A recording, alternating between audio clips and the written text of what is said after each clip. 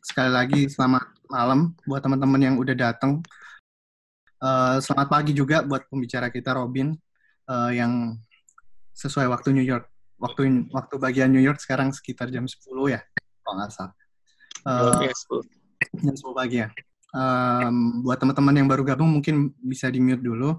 Um, edisi ketujuh ini kita kita kebetulan sudah mengadakan uh, acara serupa uh, sampai sekarang itu udah edisi ketujuh dan sekali kita mencoba edisi internasional dan beberapa kali kita mencoba sesuatu yang cukup berbeda. Kayak minggu lalu kita mencoba uh, membuat reuni kecil di di Oma ya. Maksudnya uh, kita mengundang tiga teman yang tiga-tiganya alumni pernah bekerja di Oma.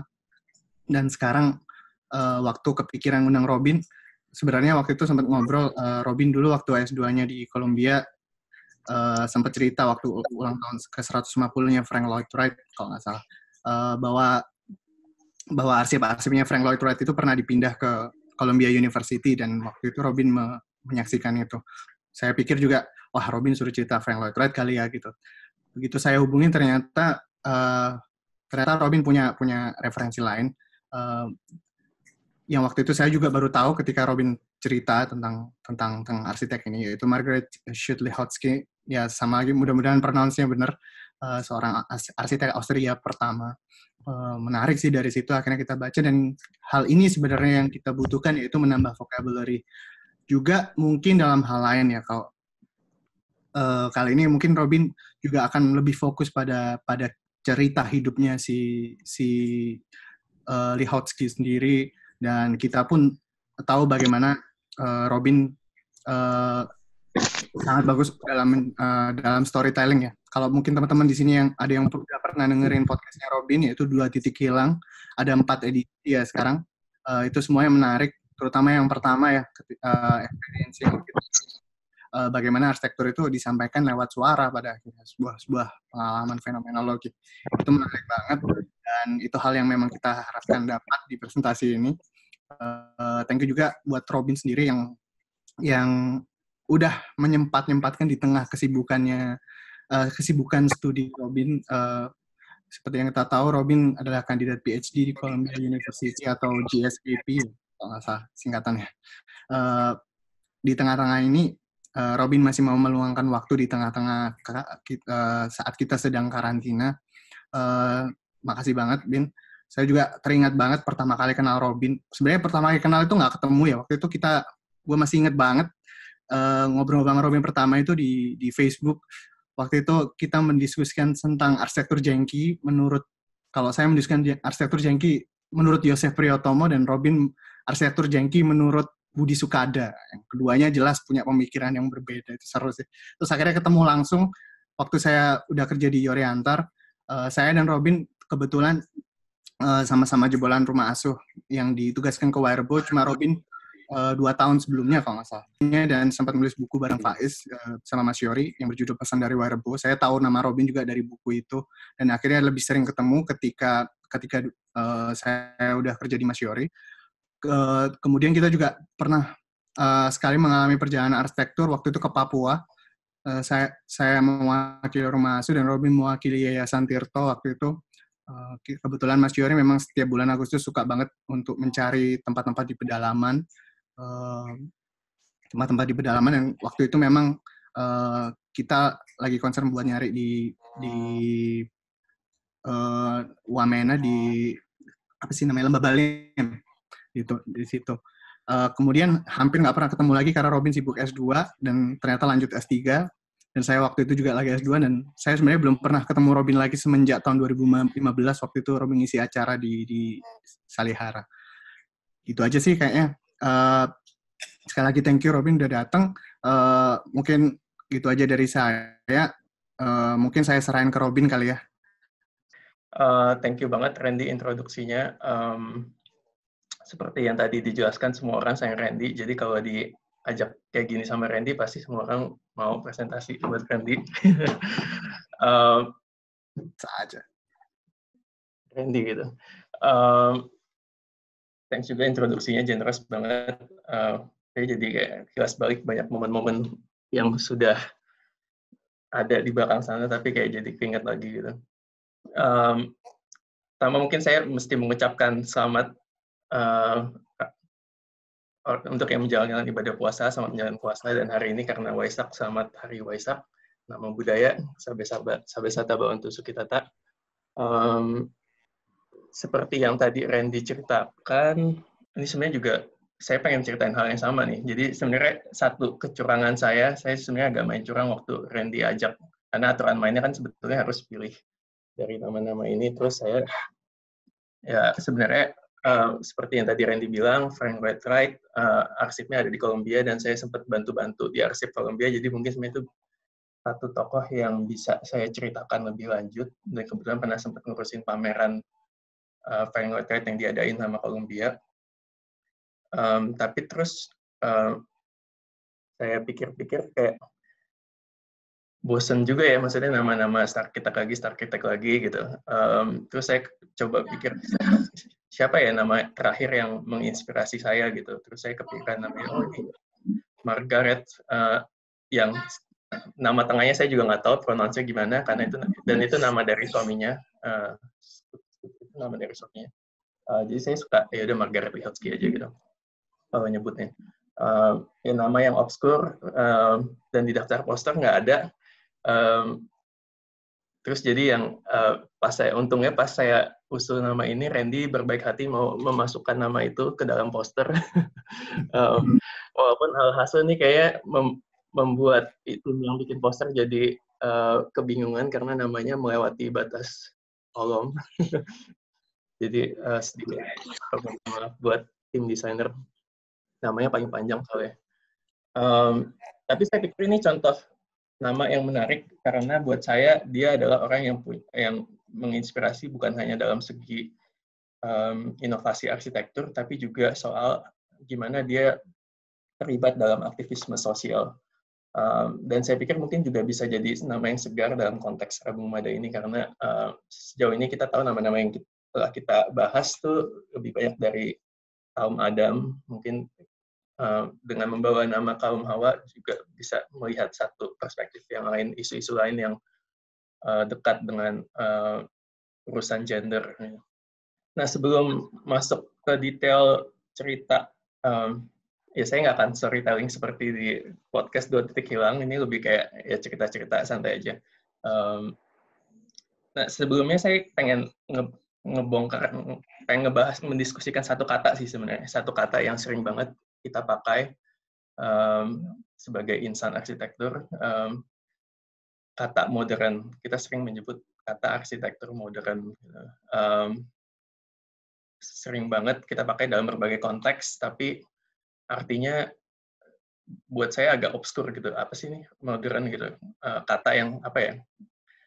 Kayak kotak aja gitu yang bisa kamu um, kayak black box gitu kita nggak tahu isinya apa gitu tapi ya udah tapi bekerja aja gitu waktu kita pakai sehari-hari.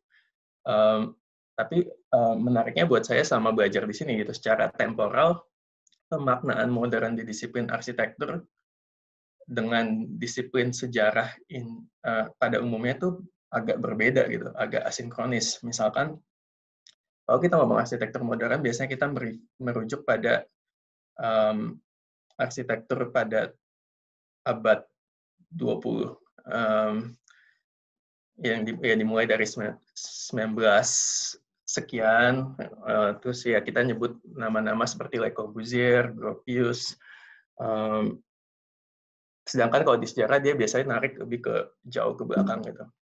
Nah, um, kalau ditelisik lagi ini, ini berdasarkan pengamatan pribadi aja gitu sering kali kita memakai kata arsitektur modern itu dalam konteks modernisme, dalam konteks gerakan uh, gerakan ya gerakan modernisme. Isme itu kan ideal ya, suatu idealisme gitu.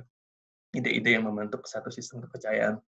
Um, ya kita menyebut arsitektur modern, kita nyebut Le Corbusier, Gropius, Mies van der Rohe, terus kita bicara soal uh, diktum-diktum seperti less is more, form follow function, um, karakter-karakter estetika yang seperti mengutamakan fungsi, menolak ornamen, um, anti tradisi, adaptasi teknologi, um, konstruksi dan material yang progresif, um, modernisme dalam konteks ini seperti satu apa ya satu kesadaran kolektif untuk melakukan praktik arsitektur dan seni dengan orientasi estetika yang spesifik. Uh, ini definisi ngarang ngarang sendiri, jadi jangan dianggap serius. Tapi sebagai uh, enaknya sebagai kandidat dokter bisa ngarang-ngarang definisi sendiri orang pada percaya aja. Um, ya itu buat saya ketika kita menyebut modern sehingga kita merefer pada modernisme. Nah, tapi yang um, satu hal yang menarik yang buat saya ketika meriset gitu, uh, ketika meriset-meriset sejarah, um, cara lain memaknai modern adalah sebetulnya melihat modern sebagai modernitas. Um, dan ini adalah yang ingin saya tawarkan, terutama untuk melihat konteks karyanya Lihotzky. Gitu. Waktu kita menyebut modernitas, sebenarnya kita merujuk pada um, kualitas atau kondisi menjadi modern yang bersinggungan dengan proses-proses historis seperti misalkan abad pencerahan, enlightenment, yang mengutamakan rasio. Tapi ketika kita bicara abad pencerahan, kita nariknya jauh lebih ke belakang kan, kita nariknya jauh lebih ke Immanuel Kant, kayak abad 18, abad 19 gitu. Uh, aspek modernitas lain, kapitalisme. Kapital, kapitalisme adalah satu uh, ideal yang dekat sekali dengan apa yang kita sebut dengan menjadi modern. Kemudian negara, munculnya negara, nation state, uh, nation state unit politik yang yang sangat mempenetrasi gimana kita hidup saat ini, nasional, uh, negara dan nasionalisme, kemudian sekularisasi, hal-hal uh, yang menurut saya itu mereko, sangat merekonfigurasi bagaimana kita berrelasi antar manusia. Gitu. Um, dan buat saya yang menarik adalah bagaimana arsitektur dibentuk dan ikut membentuk modernitas. Um, implikasi dari melihat arsitektur dari segi modernitas adalah uh, kita nggak lagi melihat arsitektur cuma dari sudut pandang kejeniusan arsitek atau bagaimana kita memakai satu desain inovasi spasial gitu, tapi um, apa yang ingin saya lihat adalah bagaimana arsitektur itu uh, dibentuk oleh circumstances mungkin keadaan-keadaan yang uh, historis gitu. Um, Oke, okay, ini agak ngomongnya agak ngawang-ngawang, tapi saya coba kasih beberapa contoh. Um, misalkan kita ngomongin soal um, pabrik jarum pin. Uh, ini adalah contoh yang dipakai oleh Adam Smith um, di bukunya The Wealth of Nation untuk menjelaskan division of labor. Um, bagaimana orang ditata untuk uh, orang ditata untuk bekerja dalam satu pabrik dengan tugas yang spesifik supaya produksinya jadi efisien. Uh, division of labor. Um, nah ini kan uh, fenomena yang sebenarnya sudah jauh di belakang gitu, sudah uh, jauh sebelum uh, zaman-zaman El Corbusier gitu. Ini bukunya The Wealth of Nations sendiri 17 uh, The Wealth of Nations itu 1780-an lah. Um, nah, buat saya menarik adalah dalam division of labor kan yang diatur adalah organisasi relasi kerja antar manusia yang bekerja di dalam dalam ruangan ini gitu. Um, tapi kan juga ini sebenarnya satu organisasi spasial. Um, bagaimana orang ditaruh di satu titik dan di titik lain supaya uh, secara secara ruang uh, efisiensi kerja itu terbentuk gitu.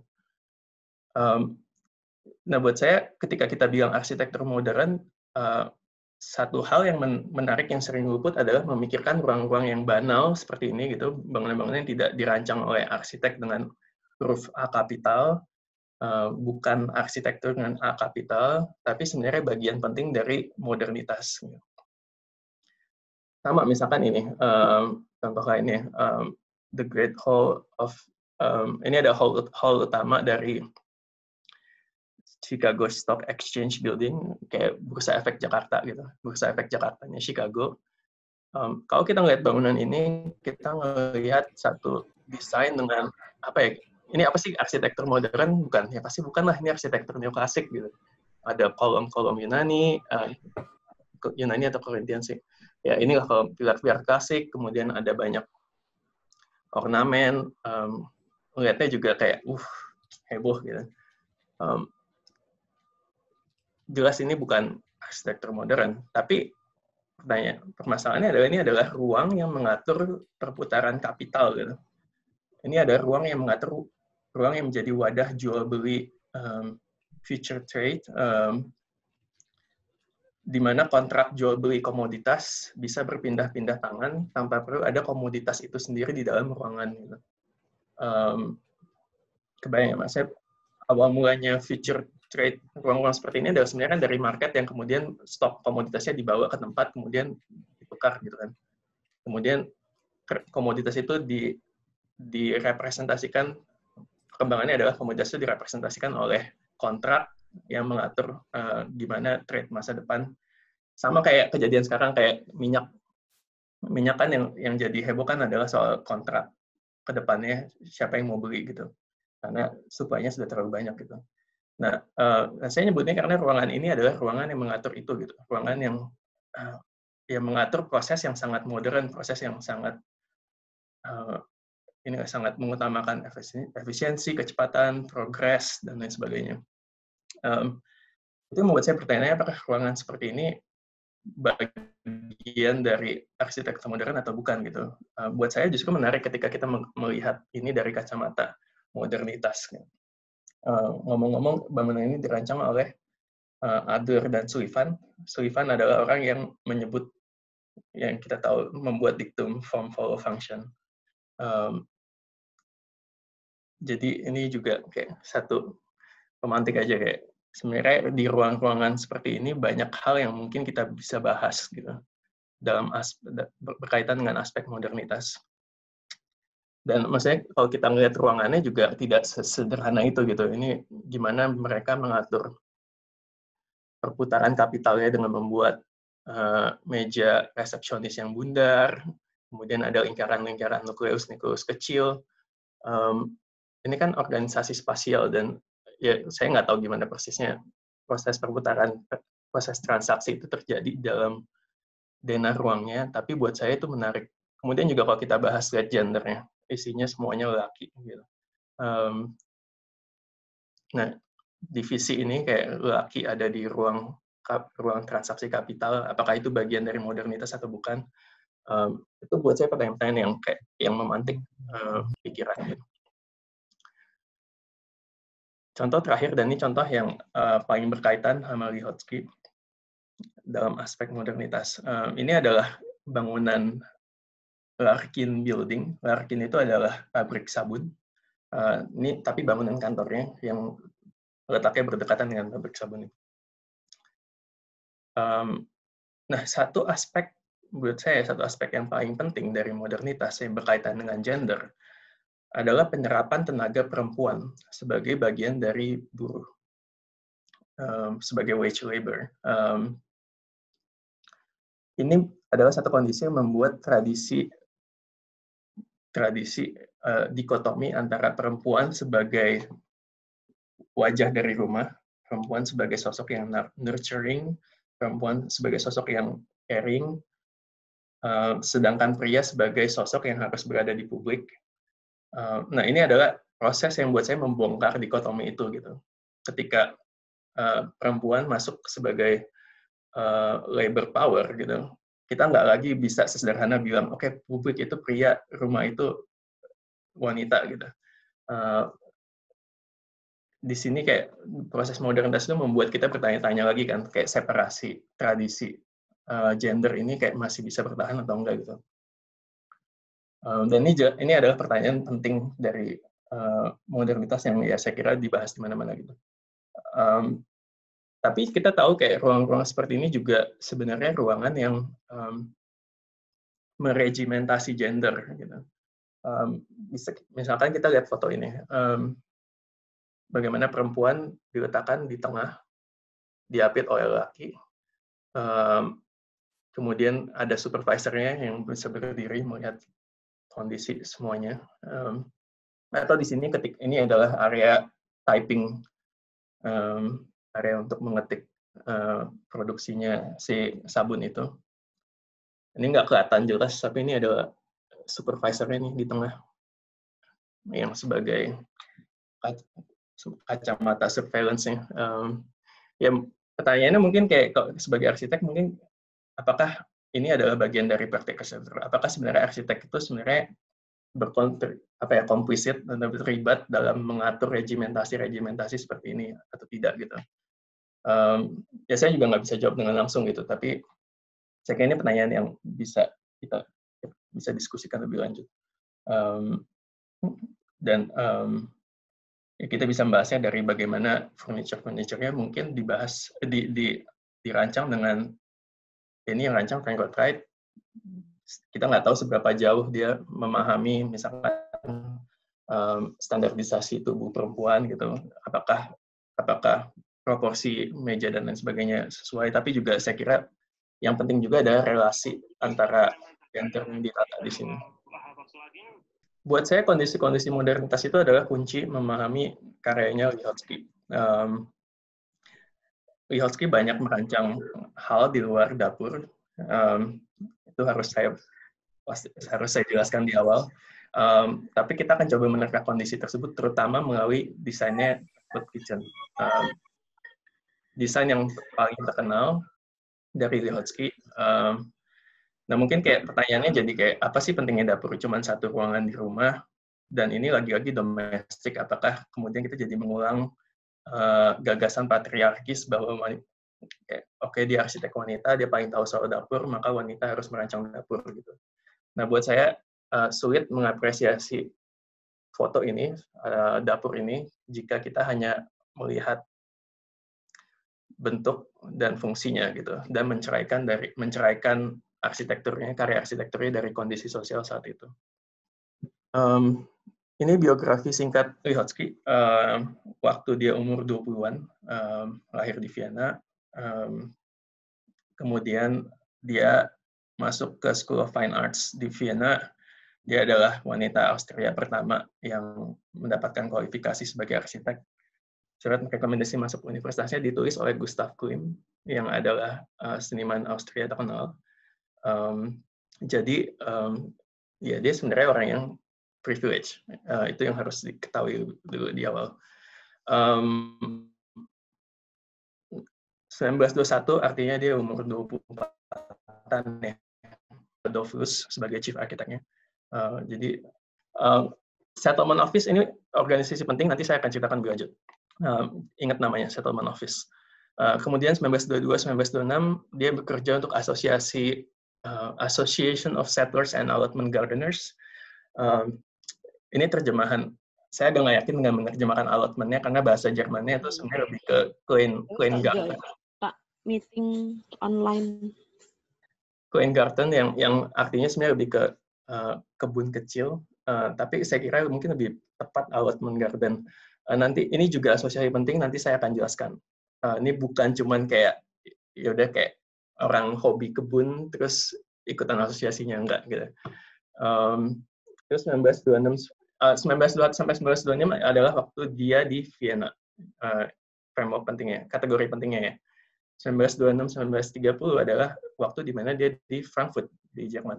Dia diundang oleh Ernst May untuk gabung dengan Office of Construction, um, kemudian mengembangkan satu area area yang sangat besar gitu dengan, dengan total ini saya salah tulis 12.000 apartemen uh, dikonstruksi dalam program New Frankfurt.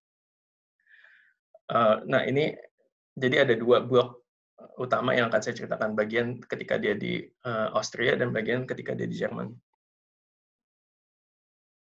Um, ini memo, uh, kutipan dari memoir yang dia tulis gitu, uh, memoir dari buku yang judulnya uh, buku Jerman, ditulis dalam bahasa Jerman tapi judulnya kayak kenapa saya menjadi arsitek. Ini saya bacain aja. Uh, saat itu saya belum tahu kutipan terkenal Heinrich Zille, uh, seniman Jerman. Kamu bisa membunuh seseorang dengan apartemen seperti halnya dengan kapak. Tapi saya sudah merasakannya. Saya menemukan itu di Vienna, di Wina, dekat dengan dunia intelektual kelas menengah saya dan kehidupan elit. Saya melihat mereka berdiri di atas kelas lain. Tanpa saya ketahui di sana ada kelas sosial dengan ratusan ribu orang hidup sengsara. Meskipun sumber dari penderitaan mereka buat saya saat itu belum jelas, saya ingin mengambil karir yang memungkinkan, memungkinkan saya untuk berkontribusi mengurangi keputusasaan mereka. keputusan saya untuk menjadi arsitek akhirnya buat. Nah, uh, tadi saya sebut bahwa dia datang dari latar belakang yang cukup privilege, kenal banyak orang terkenal, uh, dan dia tuh mapres, jadi dia sama jadi mahasiswa tuh mahasiswa berprestasi, banyak menang award, uh, banyak menang kompetisi gitu. Jadi dia sebenarnya apa ya? Kalau dia mau jadi arsitek yang ya yang seneng yang seneng seneng yang happy aja gitu, yang yang mau jadi arsitek arsitek sebutlah gitu sebenarnya jalur jalurnya gampang gitu ya, dia mau jadi staff sus milenial juga mungkin bisa gitu dia punya privilege dia punya uh, latar belakang sekolah yang baik gitu award award gitu tapi dia semacam memutuskan jalan ninjanya adalah untuk menjadi apa ya arsitek yang bergelut di uh, konteks sosial gitu. Nah buat saya itu kayak sikap yang yang sangat inspiratif gitu ketika dia punya segala itu tapi dia memutuskan untuk mengambil jalan yang lain gitu. um, desainnya kayak gini nih. Desainnya kayak ini pas desain, salah satu desainnya di di di Wina uh, rumah kayak gini aja gitu. Pasti menariknya nih. Semoga udah menyesal ikutan Rabung Madah kali ini. um, um, ini lagi-lagi kayak kenapa buat saya penting buat memahami konteks munculnya bangunan seperti ini gitu. Uh, tadi saya sebut soal settlement office dan association of settlers and allotment gardens, uh, gardeners. Konteks, dari asosiasi asosiasi tersebut adalah di Austria saat itu um, habis perang, habis perang dunia satu, uh, miskin luar biasa, banyak warga miskin yang sebenarnya nggak punya tempat tinggal gitu, nggak punya penghasilan. Uh, lalu muncul gerakan akar rumput untuk mengokupasi lahan-lahan yang kosong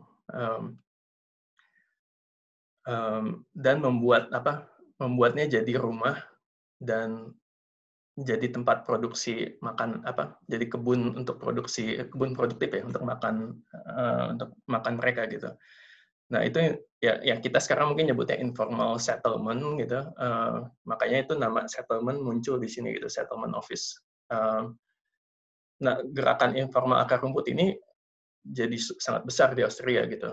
Uh, bilang gitu kayak jika pemerintah bisa memberikan kita tempat, maka pemerintah akan uh, menyimpan banyak uang dalam konteks uh, support unemployment support gitu. Ketimbang lo ngasih duit buat unemployment support, lo kasih kita settlement, kita bisa produce sendiri gitu. Berikan kita tanah, maka kita akan membuat roti darinya gitu. Uh, itu kayak moto-motonya settlement, gerakan-gerakan settlement di sana gitu. Um, nah, pemerintah saat itu, pemerintah Vienna saat itu cukup radikal, jadi mereka kayak mensupport, justru bukan bukannya kayak menggusur dan lain sebagainya, mereka kayak melihat, wah ini sebenarnya gerakan menarik nih, kita support deh, kita bikin settlement office, settlement office itu organisasi pemerintah gitu. Tapi untuk uh, memikirkan gimana bisa mewadahi gerakan-gerakan tersebut. Um, asosiasinya, asosiasi ini yang gerakan akar rumputnya gitu. Jadi settlement office adalah tim pemerintah, asosiasinya adalah tim tim gerakan akar rumputnya gitu. Um, nah, yang menarik juga adalah konsep allotment garden, gardeners gitu. Um, kita mikirin taman, kalau kita mikir taman saat ini adalah kita mikir taman untuk publik bisa diakses siapa saja kan. Um, nah, allotment garden itu taman yang milik pemerintah tapi konsepnya berbeda milik pemerintah tapi didedikasikan untuk komunitas tertentu. Uh, jadi bukan sepenuhnya terbuka, terbuka untuk umum. Tujuannya adalah lahan lot, lot tanah kecil. Kenapa makanya small, gar, clean, small garden, clean garden. Lahan-lahan kecil itu bisa dipakai buat komunitas tersebut, buat bikin itu, buat tanam makanan-makanan yang buat mereka makan. Gitu. Jadi uh, taman produktif ya kayak Indonesia berkebun tapi tanahnya disediain pemerintah lah gitu. Um, jadi sebenarnya di New York ada uh, ada juga sih tanah-tanah kayak gitu ya uh, yang buat saya konsep taman yang menarik gitu. Oke, okay, ini melebar ke mana-mana, tapi intinya gitu, uh, konteksnya ada Settlement Office dan Association of Settlers and Development Gardens, dan mereka bikin pameran um, untuk me menunjukkan bagaimana kayak si asosiasi uh, gerakan-gerakan akar rumput ini sebenarnya punya banyak hal yang ditawarkan. Um, dan yang menarik juga adalah para settlers, kita nyebutnya settlers, orang-orang yang mengokupasi lahan lahan umum ini, um, juga ikut berkontribusi tenaga kerja. Kalau dalam konteks mereka membangun rumah gitu, seenggaknya setiap orang kayak dedikasi 2.000-3.000 jam kerja untuk membangun pemukimannya sendiri. Gitu. Dan keluarga itu juga harus berbagi infrastruktur komunal. Um, nah, ini salah satu rumah yang dipamerkan, didesain oleh uh, Margaret Wychotsky, namanya Core House Type 7. Um, nah, lagi-lagi ya ya dari luar kayak gitu aja gitu. Tapi yang radikal dari rumah ini adalah sebetulnya uh, ini adalah kalau kita sebut karena rumah tumbuh. Ini sebenarnya ide dasarnya adalah dia bikin rumah tumbuh. Makanya dia sebutnya core house. Uh, jadi ada rumah, ada area intinya yang nanti kemudian bisa berkembang ke mana-mana gitu. Core house-nya dia yang dibikin oleh dia adalah core, uh, ini nih ruangan eh sorry nunjuknya salah ruangan yang sebutnya apa ya live-in kitchen mungkin jadi kayak area tinggal tapi juga sekaligus dapur um, karena buat dia itu basic needs-nya dari um, para informal settlers ini gitu. Nah uh, kalau di Dena uh, ini nih core Jadi ada kamar di sini, terus ada kitchen kecil, um, ini ada ruang duduk-duduk. Um, ini adalah fase pertamanya. Nanti ketika udah setter ya bisa udah punya resource buat bangun lagi, nanti rumahnya berkembang. Core ini adalah yang di sini ya. Rumahnya bisa ditambahin ke sini, eh sorry, uh, diperbesar ke sini, nambah kasur, nambah kasur, bisa buka ke belakang, nambah nambah apa namanya uh, toilet yang lebih kayaknya ini, saya nggak tahu toilet yang di sini di mana umum atau di sini cuman ini di fase berikutnya adalah dikembangin ke belakang buat nambah toilet. Terus kemudian bisa nambah ke atas juga nambah ruangan-ruangan lain gitu. Uh, ya intinya gagasannya adalah gagasan rumah tumbuh gitu. Um, dan ya. Dan selain itu juga menurut saya yang menarik adalah karakter. Saya kalau dilihat secara visual ya ini kayak rumah kayak rumah di villa villa mana gitu. Um, cuman sebenarnya ini kayak apa ya? Kalau ngelihat efisiensi ruangannya tuh menarik sih, maksudnya compact banget. Um, walaupun nggak nanti nggak walaupun dia belum sedrastis Frankfurt Kitchen, tapi dari sini kita udah bisa mulai melihat lihat benih-benih apa ya efisiensi ruangnya udah ada di sini. Um, nah ini project lain dia di di Wina uh, di Austria. Saya nggak akan banyak bahas ini gitu, tapi saya kayak pengen ngomong ini karena buat saya konteks sosialnya lagi-lagi sangat menarik gitu.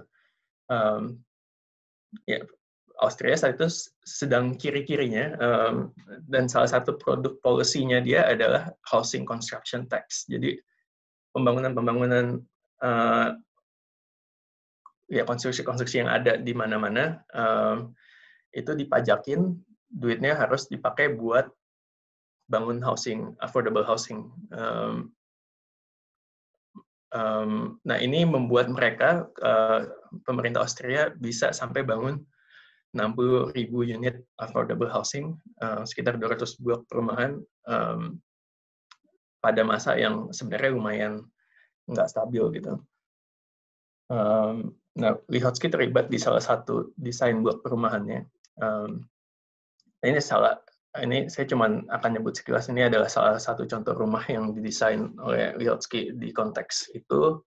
Um, simple banget maksudnya nggak macam-macam masuk kita lihat nih kayaknya forum ini ya berarti masuknya dari sini tangga spiral um, sirkulasinya sangat efisien um, ya WC da dapur ruang um, ruang zimmer reading room um, kamar kamar uh, bathroom um, ya, uh, sederhana banget tapi buat saya yang menarik adalah kayak kalau kita bandingin sama misalkan Villa Savoy gitu ya Reko Busir suka bilang kan ini um, rumah sebagai machine for living gitu. Uh, cuman salah satu kritik yang sering disasar ke Le Corbusier adalah sebenarnya dia mengejar estetika mesin ketimbang uh, benar-benar apa ya mengejar estetikanya mesin ketimbang menjadi mesin itu sendiri gitu.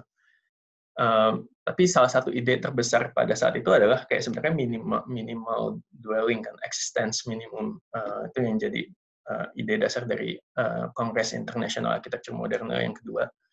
Um, nah ini buat saya kayak salah satu contoh rumah yang kayak mencoba benar-benar mengkompres segalanya jadi kecil gitu, jadi minimum. Um, yang mungkin lebih dekat ke tesis machine for living gitu. Ya bisa pro atau enggak soal memesinkan living kita tahu ada banyak ekses ekses negatif dari memesinkan manusia. Uh, tapi buat saya ide-ide kayak gitu ya progresif aja sih, menarik gitu, dalam konteks sejarah.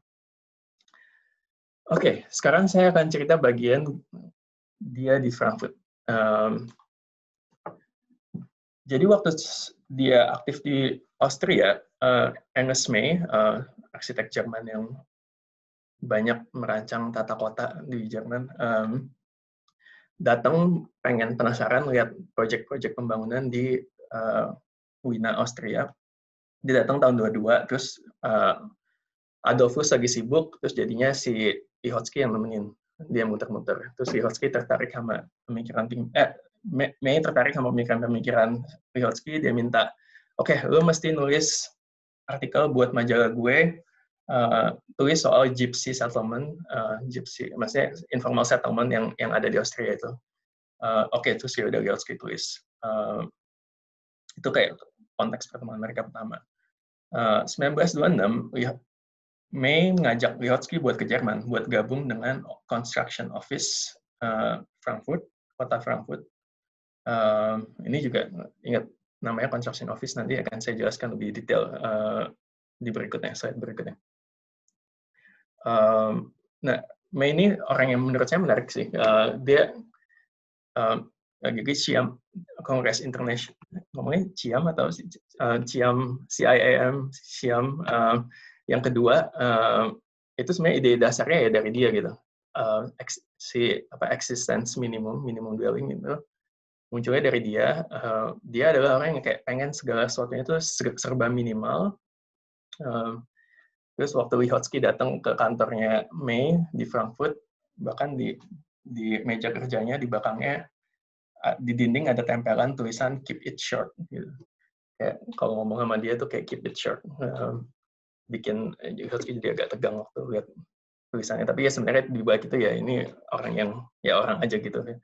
Orang yang baik gitu. Um, nah, um, project terbesar uh, construction office tadi saya bilang disebut oleh dibikin oleh wali kota Frankfurt uh, tujuannya agak mirip sama konteks Austria pengen bikin affordable housing uh, affordable housing buat uh, para, para pekerja um, caranya adalah uh, ya udah kita dia bikin kota satelit dengan fundingnya dari skema pajak yang mirip dengan Vienna terus bikin kota satelit jadi kota yang apa ya kita bisa bilang secara skala gigantis, tapi juga minimalis. Minimalis dalam artian ya standarisasi besar-besaran, personalisasi besar-besaran, segala sesuatunya harus ditipifikasi, uh, pintu, jendela, door handles, uh, dinding panel, atap semuanya di standarisasi.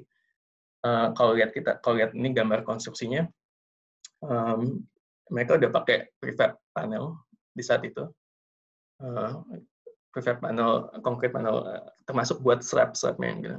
Mereka sampai bisa bikin 10 bangunan dalam 20 hari. Uh, sampai-sampai kayak tim apa partai Nazi itu bilang kayak May Ernst May itu kayak Leninnya arsitek Jerman gitu. Uh, ini tuh kayak dan project ini tuh kayak Soviet kecil ini Soviet kecil yang ada di Jerman. Um, kayak, kayak sosialis banget ya.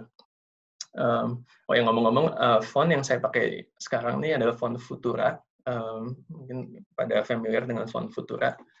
Um, ini adalah font yang terinspirasi dari project ini, project New Frankfurt. Makanya ini uh, fontnya kayak apa ya, sangat minimalis, geometris, um, dan sans serif, nggak ada kait, ada kait-kait tulisan gitu. Um, ini pembuat font ini kayak terinspirasi banget sama si New Frankfurt pada saat itu terus jadi dia bikin font yang benar-benar apa ya standar uh, um, nah ini adalah konteks project yang sangat penting buat ngomongin Frankfurt Kitchen karena Frankfurt semua bangunan di sini menggunakan Frankfurt Kitchen uh, didesain oleh terutama oleh Lihotzky. Nah, um, tadi saya bilang Mei minta Lihotzky gabung ke tim media. Nah, Lihotzky ditaruh di departemen bagian dia sebutnya T form, uh, yang mungkin kayak lebih ke bagian type. Sebenarnya T stand for type. Uh, jadi benar-benar dia tim yang mencoba merasionalisasi dana ruang supaya seefektif mungkin gitu. Uh, nah ini sebenarnya bukan hal baru gitu, maksudnya men, men, merasionalisasi um, dana ruangan di rumah, di ruang tinggal tuh bukan hal baru gitu. Um, dan juga kita tahu di konteks Austria sebenarnya dia juga udah mikirin itu gitu kan. Uh, tapi dia nggak ngulik secara sistematis bagaimana organisasi kerja di dapur tuh harus ditata gitu. Uh, nah di Frankfurt Kitchen ini dia udah mulai mikirin itu gitu, gimana sequence dari memasak itu harus dipikirin dengan matang supaya ruangnya bisa efisien. Dan ini uh, inspirasinya sebenarnya dari uh, apa yang disebut dengan domestic economy. Uh, uh, domestic economy itu adalah art and science of household management, uh, munculnya terutama dalam konteks US. Uh, nah ini saya zoom out dikit soal domestic economy karena buat saya ini juga bagian penting dari sejarah arsitektur modern protagonis dari domestic economy um, dan juga ada um, ya dan juga adalah um, apa ya protagonis yang juga masuk ke buku-buku sejarah arsitektur modern yang ditulis oleh Gideon atau Rainer Banham adalah rumah ini gitu. Rumah yang kayak ini apa sih? Ini rumah kayak rumah di suburb gitu kan. Rumah yang kayak apa jeniusnya sih rumah kayak gini gitu. Um, ini saya coba ceritakan uh, denahnya sederhana aja kayak masuk terus ini ada drawing room. Eh sorry. Mouse-nya salah nunjuk lagi. Ini saya ceritakan sejarah denahnya nanti saya akan jelaskan kenapa sejarawan-sejarawan pada ngebahas rumah ini. Uh, masuk dari sini ini ya pintu di sini. Uh, dia masuk dari sini terus uh, ya ini ruang tinggal kemudian di dapur. Uh, dapur tapi ini bagian persiapan terutama ini bagian masak api, bagian api di sini. Konteksnya saat itu belum ada gas. Um, kemudian di sini ada movable screen, ini ruangan bebas gitulah. Oke. okay. Um, kenapa dia dibahas di buku-buku sejarah? Misalkan nih, Siegfried Gideon. Um, kita tahu uh, dia Siegfried Gideon adalah ghostwriter-nya architecture modern, um, sering disebut demikian karena dia yang jadi apa ya sekretaris Siam dan yang banyak meng, meng, apa ya, mengkanonisasi proyek-proyeknya Corbusier dan lain-lain. Ini buku dia yang paling menarik buat saya, Mechanization Text Comment, A Contribution to Anonymous History. Uh, nah, dia ngebahas rumah Catherine Beecher karena idenya adalah buat dia menarik karena dia sudah mikirin gimana membuat continuous working surface untuk dapur, gimana kayak proses itu kayak ngurut gitu, organisasinya jelas. Kemudian yang kita tahu sekarang kayak ada tiga center dari dapur uh, storage preservation center nama kemudian cleaning and preparation kemudian cooking and serving gitu. Uh, nah bicara saat itu udah mikirin gimana proses-proses itu harus di, di diatur gitu. Nah uh, jadi ini Gideon sebenarnya fokus ngomongin dapurnya. Kalau kita lihat ini dapurnya di cut out sama dia dimasukin di buku cuman ngasih dapurnya aja Banham ngelihat hal yang lebih menurut saya lebih menarik gitu. Uh, Banham melihat kayak yang bikin rumah bicar menarik itu sebenarnya M mechanical ya kita nyebutnya ME sekarang cuman ya pada konteks itu ME mungkin nggak agak agak nggak make sih. Uh, Banham gambar ulang, ulang rumahnya. Lihat ya, ini rumah yang sama dengan rumah yang yang kita lihat di sini gitu. Dan dia fokus ngejelasin apa ya mechanical service-nya gitu. Dia sebut ini seperti environment tree gitu, sebagai kayak pohon yang kayak mengatur segala sesuatu uh, yang ada di dalam uh, selubung kulitnya itu gitu. Jadi ini adalah modern dan arti dia benar-benar highly uh, bisa highly bisa kontrol ruang environment di dalam selubung itu gitu. Yang di highlight di sini ya kayak gitu stove, cooking range uh, dan lain sebagainya gitu. Um, nah buat dia, buat Banham ini bahkan mengantisipasi basic functional organization dari Fuller di Martian House um, dan um, ya mungkin bahkan ide ide itu kayak apa ya paralel dengan kayak desain-desain modern arsitektur modern Eropa pada masa 20-an gitu. Nah, dengan core ini yang buat Banham menarik adalah sebenarnya um, ya ruang di luar itu jadi bebas gitu. Uh, ini ada movable screen, bisa bikin ruang yang fleksibel. Kemudian sebenarnya kulitnya jadi nggak jadi bebas kan. Kalau mau bikin kulitnya seperti apa tuh sebenarnya bisa karena yang penting environment-nya udah terkontrol dari core-nya itu gitu. Um, nah, itu zoom out aja. Um, kenapa rumah Catherine Beecher ini sangat penting di dalam sejarah arsitektur modern. Nah, kemudian satu hal lagi, satu milestone penting dari yang saya sebut domestic economy, sebetulnya adalah orang ini nih, uh, Christine Frederick. Uh, dia nulis buku The New Housekeeping, Efficiency Studies in Home Management. Uh, jadi salah satu gagasan yang sangat terkenal pada saat itu adalah Taylorism. Taylorism adalah uh, apa ya ilmu scientific management sebenarnya, manajemen scientific untuk mengoptimalisasi produksi uh, itu adalah ilmu yang diterapkan di pabrik-pabrik sebenarnya. Um, nah, Christine Frederick ini mikir gitu, gimana supaya uh, Taylorism itu bisa diterapkan di dalam konteks rumah. Uh, maka dia bikin satu buku yang mencoba mempelajari motion motion dari memasak, gitu, motion studies. Yang sebenarnya kayak kalau kita sekarang di studio-studio kayak ini udah jadi bagian sehari-hari kita lah ya, memikirkan garis-garis gimana sih urutan kerja supaya diatur dengan efektif. Maksudnya ini udah udah dinormalisasi dalam konteks studio, tapi pada saat itu belum gitu. Uh, Bicar masih hanya mikirin organisasinya, tapi dia tidak mikirin uh, efisiensi gerakan. Gitu. Uh, Frederick mikir kayak, oke, okay, 70% aktivitas di rumah housekeeper dihabiskan di dapur, sedangkan dalam konteks dapur saat itu, ya setidaknya ada waktu dia memasak tuh ada belasan gerakan yang bikin dia tidak efektif dalam memasak gitu.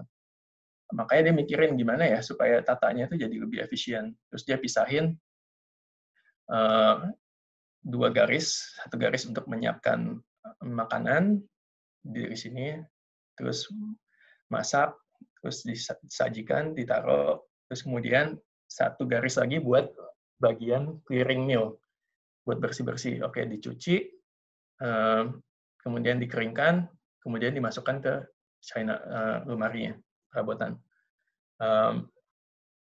nah, ini konteks. Gue udah ngomong 40 menit ya. Oke.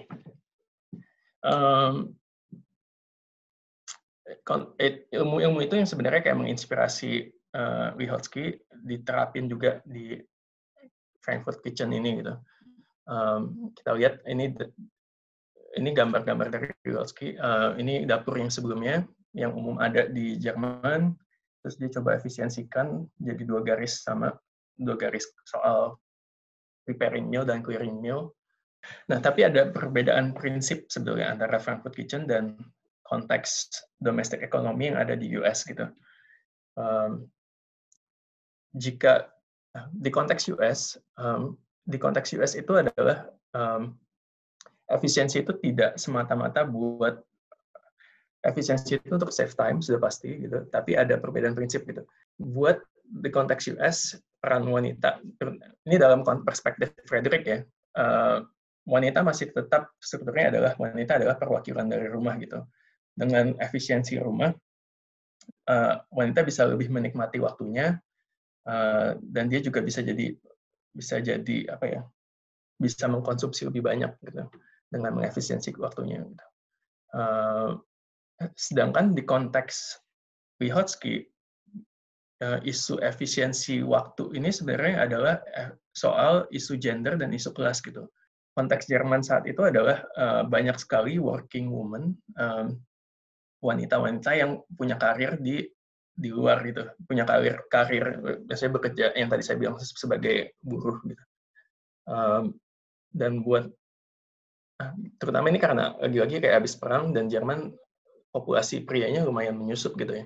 Jadi uh, populasi wanita saat itu lumayan ser, uh, agak surplus dan mereka jadi apa ya tenaga kerja yang diserap buat pabrik-pabrik. Uh, Sedangkan tapi kita juga tahu ada ada hierarki gaji yang yang terjadi di konteks seperti ini gitu. Wanita gajinya lebih rendah dan maksudnya sampai sekarang juga ini masih terjadi ya. Uh, jadi buat buat Wygotsky, kalau kamu bisa save time, kamu bisa save labor, dan kamu bisa waktu yang kamu save itu bisa dipakai buat um, ya baik untuk relaksasi maupun untuk uh, mendukung karir kamu di luar rumah gitu. Um, jadi membuat dapur yang lebih efisien itu sebenarnya meskipun itu urusan domestik itu juga urusan sosial. Um, dan kemudian juga uh, karena gajinya lebih pada umumnya lebih rendah, dengan menstandarisasi segalanya, uh, kita dia berpikir bahwa pemerintah sebenarnya bisa bikin built-in furniture uh, sehingga segala furniture-nya itu bisa di mass produce, harganya lebih murah, dan jadi biaya rentnya mungkin mereka bayar biaya rent sedikit lebih mahal karena udah built-in furniture, tapi secara akumulasi itu jadi lebih murah karena uh, mereka nggak perlu beli furniture baru gitu. Uh, ide dasarnya itu gitu. Uh, itu yang membuat Frankfurt Kitchen agak radikal dalam konteks jika kita bandingkan dengan domestic economy yang ada di US. Um, ini cara-caratan Lihotsky aja. Uh, pertanyaan terbesar Lihotsky waktu itu adalah kayak apakah dapur sebaiknya juga tempat untuk makan atau tempat untuk bekerja sepenuhnya. Uh, itu keputusan paling pentingnya. Akhirnya dia putusin bahwa lebih baik dapur sepenuhnya terpisah uh, karena alasannya gini. Uh, dalam konteks Austria uh, waktu itu um, panas yang bisa untuk menghangatkan rumah juga. Uh, kalau digabung antara kitchen dan uh, living room, uh, kita bisa hemat energi karena panas yang dihasilkan dari masak jadi berpengaruh pada panas uh, pada suhu ruangan di living room. Um, tapi konteks Jerman saat itu adalah mereka sudah ada gas, sudah ada sudah ada listrik, jadi mereka nggak perlu melakukan itu, nggak perlu efisiensi energi seperti itu. Jadi punya alasan buat oke okay, pisahin. Uh, kemudian, uh, tapi dia juga buka bikin satu bukaan di sini supaya jika single woman itu punya anak, um, dia tetap bisa menjaga visual ke ruang living room. Ini foto-foto foto-foto ya foto-foto Frankfurt Kitchen lagi-lagi kayak ya kalau lihat kayak biasa aja gitu kan. Um, mungkin ya ya buat kita udah biasa kan cuma pada saat itu ya gitu sangat radikal minimal.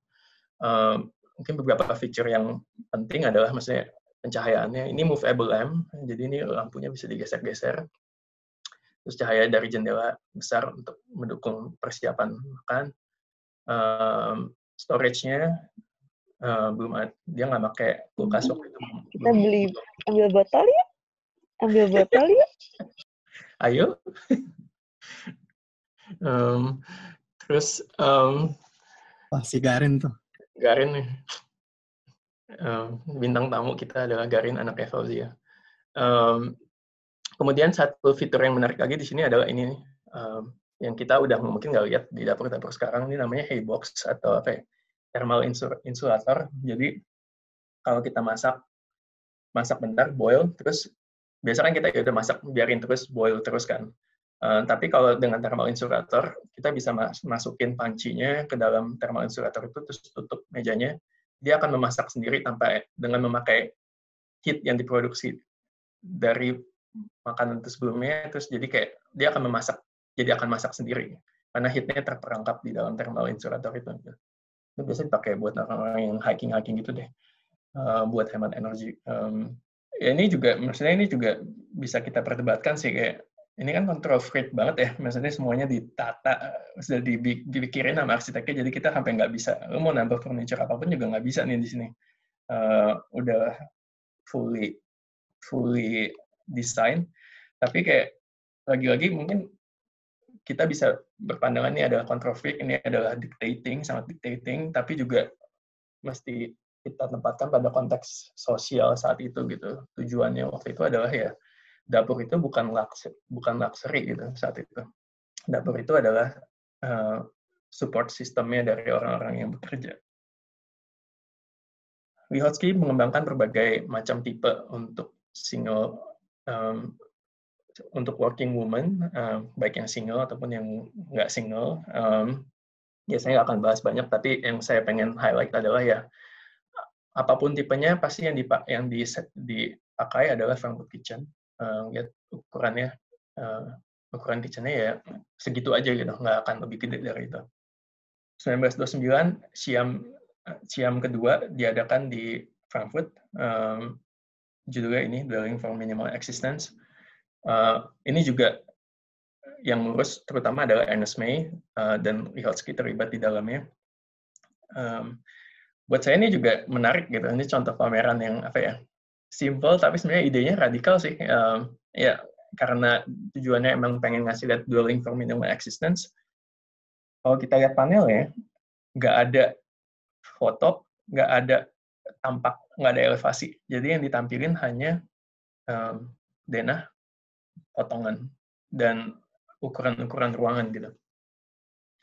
Ya, ya kalau kita mikirin pameran arsitektur sekarang nggak ada foto, nggak ada elevasi tuh kayak garing banget kan gitu. Tapi um, kayak, wow kayak pada saat itu mereka udah udah mikirin gitu gimana pameran bisa super efektif uh, yang kita pengen tampilin bukanlah sajian muka dari bangunan, tapi soal gimana bangunan itu ya benar-benar bekerja gitu, beroperasi gitu. Um, ini kayak dua slide terakhir. Um, Oke, okay. Buat saya uh, tadi saya sebut bahwa yang menarik dari Hotsky adalah bukan cuma soal inspirasi, bagaimana dia berpikir soal ruang, tapi juga sebenarnya aktivisme sosial dia gitu.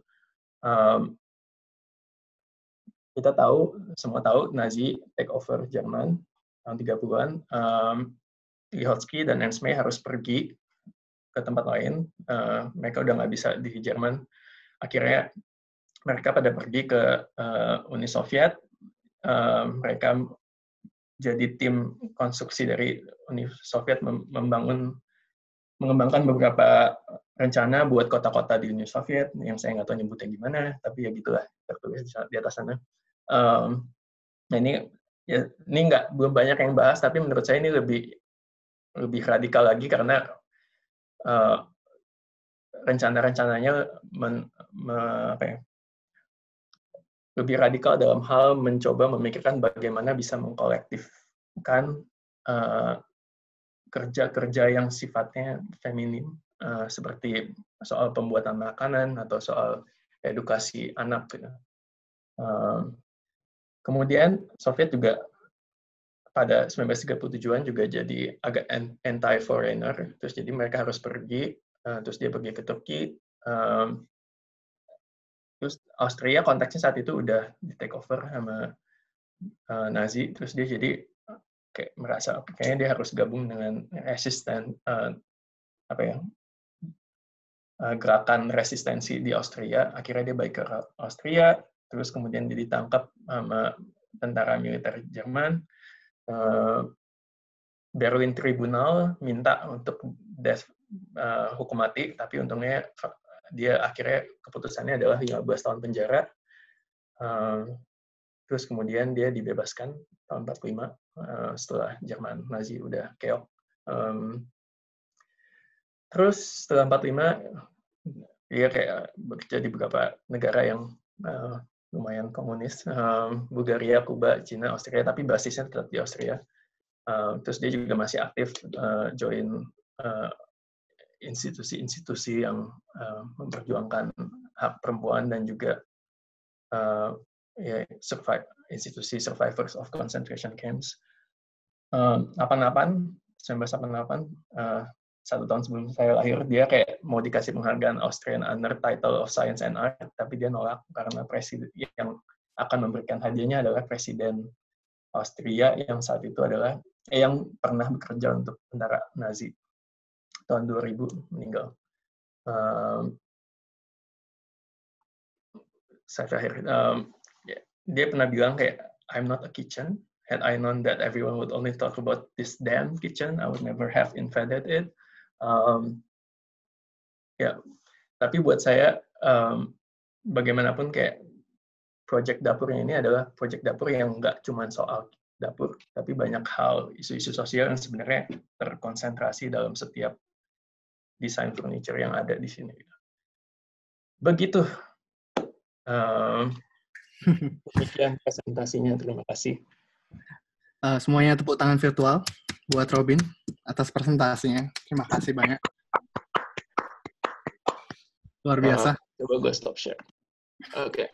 Um, wah Bin, itu luar biasa banget, benar-benar insight baru di, di mana namanya sendiri aja mungkin cuma beberapa orang yang tahu. Bahkan gue juga baru pertama kali tahu dari lu waktu lu mengajukan nama dan uh, ada beberapa poin sih tadi yang yang akhirnya gue gue benar-benar ya. Maksudnya uh, ketika di, lu tadi bilang Le Corbusier itu menganggap machine for living, tapi pada akhirnya dia hanya sebenarnya hanya romantis pada bentuk mesin itu sendiri seperti yang kita tahu Savoy sebenarnya kalau kita lihat lama-lama seperti bentuk kapal kan gitu di mana orang modernis, arsitek-arsitek modernis sangat sangat ternostalgia dengan bentukan-bentukan uh, mesin-mesin ya gitu. Uh, Lihotzky sendiri menerapkan sistemnya pada pada pada pada halnya modernisme itu sistem. Gue jadi inget filmnya McDonald si The Founder pernah nonton nggak? Nggak pernah ya. Filmnya Michael Keaton keren banget sih menceritakan tentang uh, skandal di balik franchisingnya McDonald. Tapi yang membuat orang ini tertarik itu adalah uh, gimana McDonald menciptakan sistem uh, kitchennya. Jadi waktu itu sempat lucu banget sih. Adegannya adalah si si the founder ini gue lupa namanya. Croc siapa gitu namanya. Itu dia dikasih tunjuk sama McDonald Brothers uh, sistem pembuatan cheeseburger uh, di dapur pertama McDonald. Di, di saat itu pada akhirnya McDonald berhasil membuat cheeseburger yang hanya 30 detik di saat semua restoran burger hmm. bisa uh, membutuhkan waktu 20 sampai 30 menit, dia menghabiskan 30 detik aja. Akhirnya booming di mana-mana karena cepat dan tetap enak gitu sih. Sistemnya pada akhirnya itu menarik banget sih. Uh, di mana Lihotzky sendiri akhirnya mengembangkan dari kitchen sehingga uh, lu juga bilang tadi ketika orang tidak berlama-lama di dapur atau dapur ini bis, uh, pekerjaan-pekerjaan di dapur ini bisa diselesaikan dengan cara cepat, orang lebih punya waktu untuk yang lain seperti yang kita tahu ya kalau gue sih ya kalau puasa gitu ya uh, nyokap masak di di dapur mungkin bisa sampai 30 menit sampai satu jam tapi makannya nggak lebih dari 15 menit. Alangkah baiknya kalau dapur itu menciptakan orang masak itu cuma benar-benar 15 menit. Itu yang membedakan membedakan akhirnya uh, dapur di Eropa bikinnya salad dapur di Indonesia bikinnya sayur lodeh. Mungkin seperti itu tapi pada akhirnya yang yang harus kita uh, garis bawahi sih rasanya Lihotzky sendiri legasinya itu ya sistem itu sendiri. Mungkin terlihat banal ya, mungkin kalau kita lihat karyanya terlihat biasa. Emang biasa, emang banal karena yeah. karena itu sudah dipergunakan di seluruh di seluruh halayak umum, terutama negara-negara Barat yang yang sistem kitchennya uh, kurang lebih sampai sekarang juga masih memakai sistem itu ya, sistem kitchen yang cuma 1,9 meter ya lebarnya. Hmm. Dan itu rapid banget ya kalau kita lihat tadi furniture-furniture rapid. Mungkin pertama kali ada kitchen seperti itu kan, gitu di saat itu dan masih dipakai dan relevan sampai sekarang. Itu makanya masih relevan nggak sih kalau kita memakai sistem modernisme? Bukan bentuknya pada akhirnya. Villa-villa kayak Villa Savoy gitu nggak mungkin bisa ditinggali manusia, tapi sistem kitchen seperti itu masih sangat bisa dipakai dengan sekarang. Terus ini menarik, menarik banget. Uh, dan menarik banget ini tadi seandainya kita bisa tahu arsip-arsipnya Lihotzky di negara-negara komunis seperti Soviet, Bulgaria, Kuba dan beberapa negara yang lu sebutin tadi. Menarik banget sih kalau akhirnya kita tahu perkembangan seperti apa yang dilakukan di Hotskis setelah yeah. menciptakan Frankfurt Kitchen. Menarik sih. Yang yang saya tahu juga sebetulnya um, mungkin merespon um, um, merespon soal apakah ini masih jadi sebenarnya kayak nggak nggak kerasa sebenarnya efeknya ya sampai sekarang ada gitu. Tapi yang penting kita lihat dari kasus dia ya sebenarnya ini nggak terlepas dari konteks project yang lebih besar ya gitu. Hmm. Uh, banyak negara yang kemudian datang melihat Farmers Kitchen, oke okay, gue mau terapin kayak Prancis nerapin juga, Swedia juga nerapin, tapi lagi-lagi kayak setiap negara punya ideologi masing-masing, mereka punya tujuan sendiri. Hmm. Uh, efisiensi buka, yang penting sebenarnya bukan efisiensi, tapi rasanya ada ideologi di balik efisiensi yang mesti dipikirkan lebih lanjut gitu. Um, ya sama maksudnya kita ngomongin soal dapur di US, uh, tujuannya efisiensi kan efisiensi waktu, tapi tujuannya untuk produce lebih banyak gitu dan supaya orang konsum lebih banyak gitu hmm. dalam konteks McDonald atau dalam konteks fast food kan makanya hmm. uh, efisiensi untuk more produce more so people eat more uh, sama dalam konteks Christian Frederick juga. Terus anyway, um, tadi satu lagi soal kayak terus after itu dia fokusnya Lee Hotspie sebetulnya agak bergeser habis habis pindah. Uh, saya nggak tahu terlalu banyak terus terang, uh, belum banyak yang nulis. Um, dan maksudnya karena bahasa juga kalau karena kalau mau meriset ke sana ya harus bisa bahasa Rusia kan Uh, cuman fokus dia lebih banyak ke edukasi sebetulnya jadi ruang-ruang edukasi komunal um, sekolah-sekolah gitu. Menarik sih. Um, oh iya ada satu lagi sih. Ini kayak uh, lu pernah sempat baca bukunya Albert Kahn nggak? Uh, the Modern uh, the the Businessman Architect. Kalau iya. Albert, eh, maksudnya ada akhirnya Albert Kahn uh, yang yang nyiptain sistemnya sistem fabrikasinya apa mass livingnya si Ford Henry Ford. Uh, Oke. Okay. Ya maksudnya akhirnya modern, arsitek modernis dibagi dua ya pada akhirnya.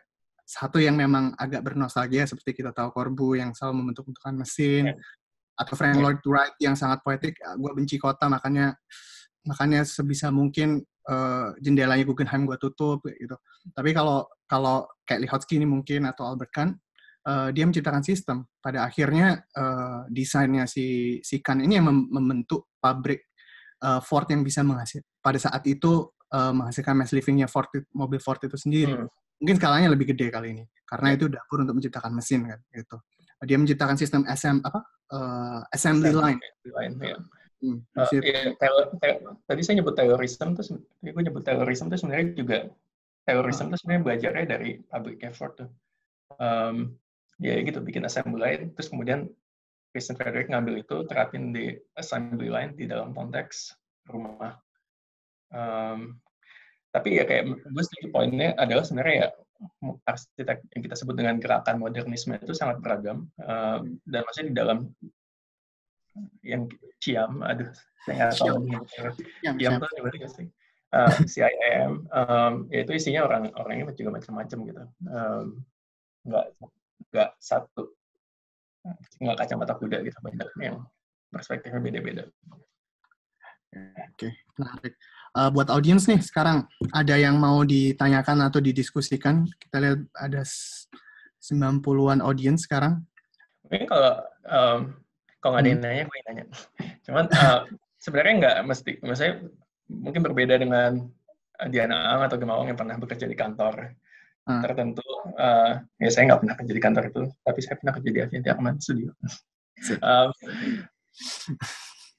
maksudnya saya juga sebenarnya nggak tahu sebanyak itu tentang health ini adalah kayak ya udah saya riset, saya coba baca-baca um, aja gitu.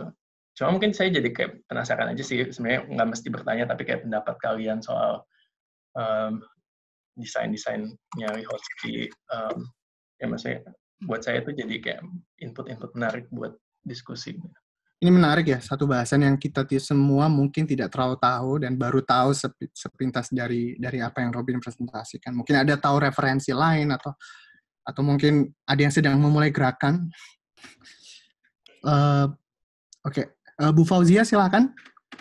Halo, uh, Semuanya sebelumnya minta maaf tadi ada kericuhan sedikit. Bayinya ngamuk. Uh, tapi ini sih bukan mau nanya dan nggak mau merespon pertanyaan Robin yang tadi, tapi uh, lebih mau ke cerita juga. Jadi pas Robin cerita dia mau ngebahas soal Margaret, uh, gue bilang ke Robin sih kayak waktu uh, kuliah di sini juga gue sempet uh, ngebahas soal Frankfurt Kitchen pas kuliah dan sebenarnya nggak nggak terlalu inget cuma hal yang paling gue inget adalah waktu itu dosen gue cerita bahwa Margaret ini tuh sebenarnya nggak bisa masak dan dia hampir nggak pernah ada di dapur. Jadi dia mendesain dapur itu sebagai pure sebagai arsitek profesional bukan karena dia wanita gitu. Jadi kayak mungkin waktu itu dia sempat mungkin eh, nggak uh, tahu ya mungkin dibilang um, ya dia perempuan dia sering di dapur makanya dia tahu banyak gitu. Hmm. tapi pada kenyataannya ya mungkin karena tadi Robin juga ceritakan dia sebenarnya kaum privilege mungkin dia banyak mbak gitu jadi yeah. dia kayak nggak masak tapi jadi dia sebenarnya hmm. melakukan ini pure uh, karena dia arsitek gitu udah itu aja sih itu menarik ya akhirnya itu ya apa relevan ya omongannya Zahadid yang don't call me women architect, I'm just an architect. Wah. Tapi kayak um, meskipun mungkin ada hal ya uh, maksudnya itu benar faktanya, cuman gue juga mikir ya karena bagaimanapun ketika ketika kita memiliki satu gender, rasanya kita lebih peka pada kebutuhan-kebutuhan gender itu. Gitu. Um, ini agak melebar cuma waktu itu waktu ngobrol sama Fauzia tuh waktu itu kita juga ngomongin waktu waktu cerita eh gue diundang Randy nih bos Randy buat ngomong gue mau ngomongin soal Margaret um, terus uh, saya ngebahas kayak contoh buat saya contoh menarik sebetulnya ngebahas soal uh, proporsi proporsi misalkan di ruang publik kita ngomongin proporsi toilet wanita dan toilet pria kalau lo mau adil uh, ya kalau adil kan biasanya kayak oke okay, ukurannya disamain gitu. Uh, tapi padahal sebenarnya kita tahu bahwa pria itu bisa lebih cepat karena ada urinoir, sedangkan wanita butuh ruangan-ruangan. Uh, jadi kayak sehingga makanya kalau ketika kita di acara publik itu yang antrinya antrian lebih panjang kan sebenarnya antrian WC cewek dalam hmm. konteks apa pun dari nonton bioskop atau mau ke mana pun gitu uh, maksudnya itu hal-hal yang kayak di kepala arsitek pria mungkin mikirnya oke okay, mau adil jumlahnya sama gitu tapi padahal waktu yang diguna yang waktu yang dibutuhkan untuk wanita me, apa sih mau ekskresi? Uh, itu lebih lebih lebih tinggi dibandingkan lebih lebih lebih lama dibandingkan pria akhirnya kalau mau adil sebenarnya ya kita mesti mikirin gimana. Terus Fauzian yang nimpal kayak oh ya ini ini juga nih soal um, kenapa bayi apa meja meja meja popok bayi aja. Meja buat um, ngepopokin bayi kayak cuma ada di WC cewek gitu karena kan mengamini bahwa itu pekerjaan uh, cewek. Nah, padahal kayak mestinya bisa nggak semua maksudnya di konteks sekarang sebenarnya lagi-lagi kayak peran pria dan wanita itu nggak sesederhana. Oke okay, wanita ngurusin bayi cowok ngurusin duit. Uh, rasanya sudah lebih rumit dari itu gitu. Cuman kayak sensitivitas-sensitivitas itu yang menurut saya uh, ya kadang di satu kepala orang dengan satu gender ya nggak akan se sesensitif itu gitu mikirin hal-hal demikian. Pasti ada saat beberapa beberapa titik atau beberapa poin yang pada akhirnya kita memang memang memang harus consider uh, dari gender itu sendiri kan. Bukan bukan berarti tidak adanya emansipasi kan, tapi tapi ada hal yang memang yang yang sangat fundamental pada akhirnya yang emang udah lahir dari gitu udah kayak gitu gimana gimana sistemnya berbeda memang seperti toilet itu tadi tapi kalau yang yang akhirnya ngurus baik kan pada sekarang uh, sistem toilet itu kan dipisah pada akhirnya kan ada ada ada yang apa itu difabel sebelahnya uh, difabel sebelahnya untuk nursing dan itu kan tidak tidak bergender di situ itu udah mulai berubah lah. Tapi kalau di mall-mall seperti yang kita tahu ya layoutnya biasanya sih sama ya. Kita masih sering melihat antrian di di di di Harmony Mall. Oh iya, uh, ini ada pertanyaan dari chat, tapi dari Faiz, Faiz Suprahman, uh, pembicara kita yang kedua, series kedua, waktu itu bahas Wang Show, uh, uh, Faiz baru pulang tahun lalu dari Tiongkok. Uh, Eh, tahun ini. jago Mandarin ya dong? Kenapa? Udah jago Mandarin. Faiz nih, Huishuo, cuma. Iya, intinya gini pertanyaannya. Uh, oh, ternyata hampir sama kayak pertanyaan Fauzia. Uh, si ibu ini apa benar banyak desain dapur atau kok kebetulan banget Robin bahas gender uh, terus value desainnya yang paling ditonjolkan itu dapur kayak cewek itu dapur uh, tadi sebenarnya udah dibahas ya sama Fauzia tadi ya soal ini. Iya, Is sudah kejawab Is. Ya, masuk. Lagi-lagi kayak dia juga nggak pengen diingatnya dapur aja gitu, yang jadi banyak ngedesain yang lain. Cuma buat saya ini desain yang secara kontekstual untuk membahas uh, modernitas arsitektur modern adalah satu area yang, yang sayang aja gitu kalau nggak dibahas gitu ya kayak sama kayak di Indonesia juga sih dapur kan kayak kalau kita belajar di rumah Wirebo mungkin contohnya kan dapur itu benar-benar yang pusat ininya. Dan lagi-lagi uh, mungkin uh, um, arsitektur Indonesia baru-baru ini ngepost soal uh, babu uh, pembantu. Uh, hmm. Yang menurut saya sangat menarik lagi-lagi dapur itu nggak cuma soal domestik, tapi juga soal relasi sosial antara pekerja rumah tangga dan pemilik rumah gitu. Oh, kayaknya um, sempat dibahas di tulisannya Mbak Vivi yang di arsitektur yang lain nggak sih dapur soal itu? Nggak, nggak inget deh. Uh, iya, kayaknya ada satu bab soal itu. Uh, ya. Yang yang lu cerita tadi gimana rahasia-rahasia sosial itu juga biasanya. Iya, dan maksudnya peran kita. Uh, ya, arsitek merespon itu dengan berbagai cara kan. Uh, hmm.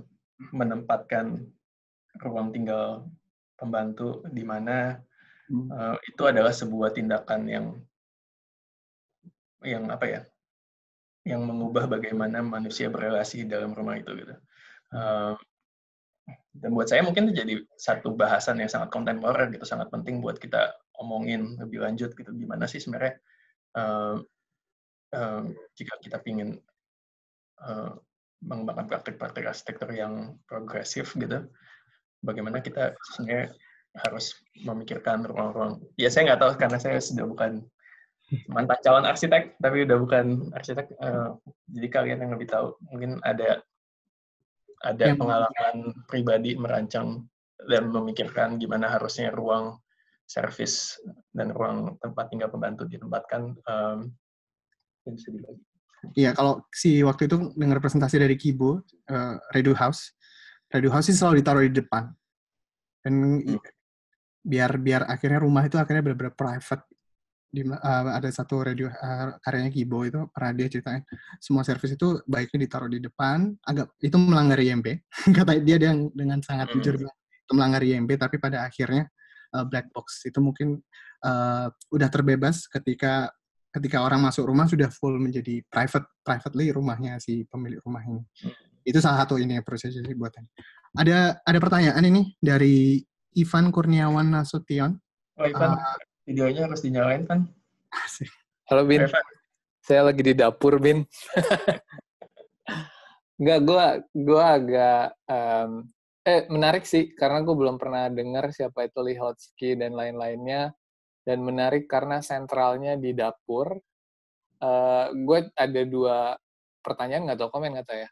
Uh, yang pertama itu se sejauh apa sih uh, image dapur Frankfurt ini diterima sampai sekarang artinya kan ini kan sebuah ideologi yang dibawa dari satu konon um, kalau dia um, asalnya sosialis gitu ya atau uh, konteks dia sosialis apakah dia bawa ini ke ideologi-ideologi yang lain atau hmm. masuk atau enggak yang kedua agak lucu juga ketika lu bilang kalau dia ininya backgroundnya dari sosialis tapi kayaknya pengen membuat efisiensi kerja di dapur untuk agar lebih produktif di tempat lain. Itu kan agak-agak gimana ya? Nggak ngerti gue. Apa ya, ya.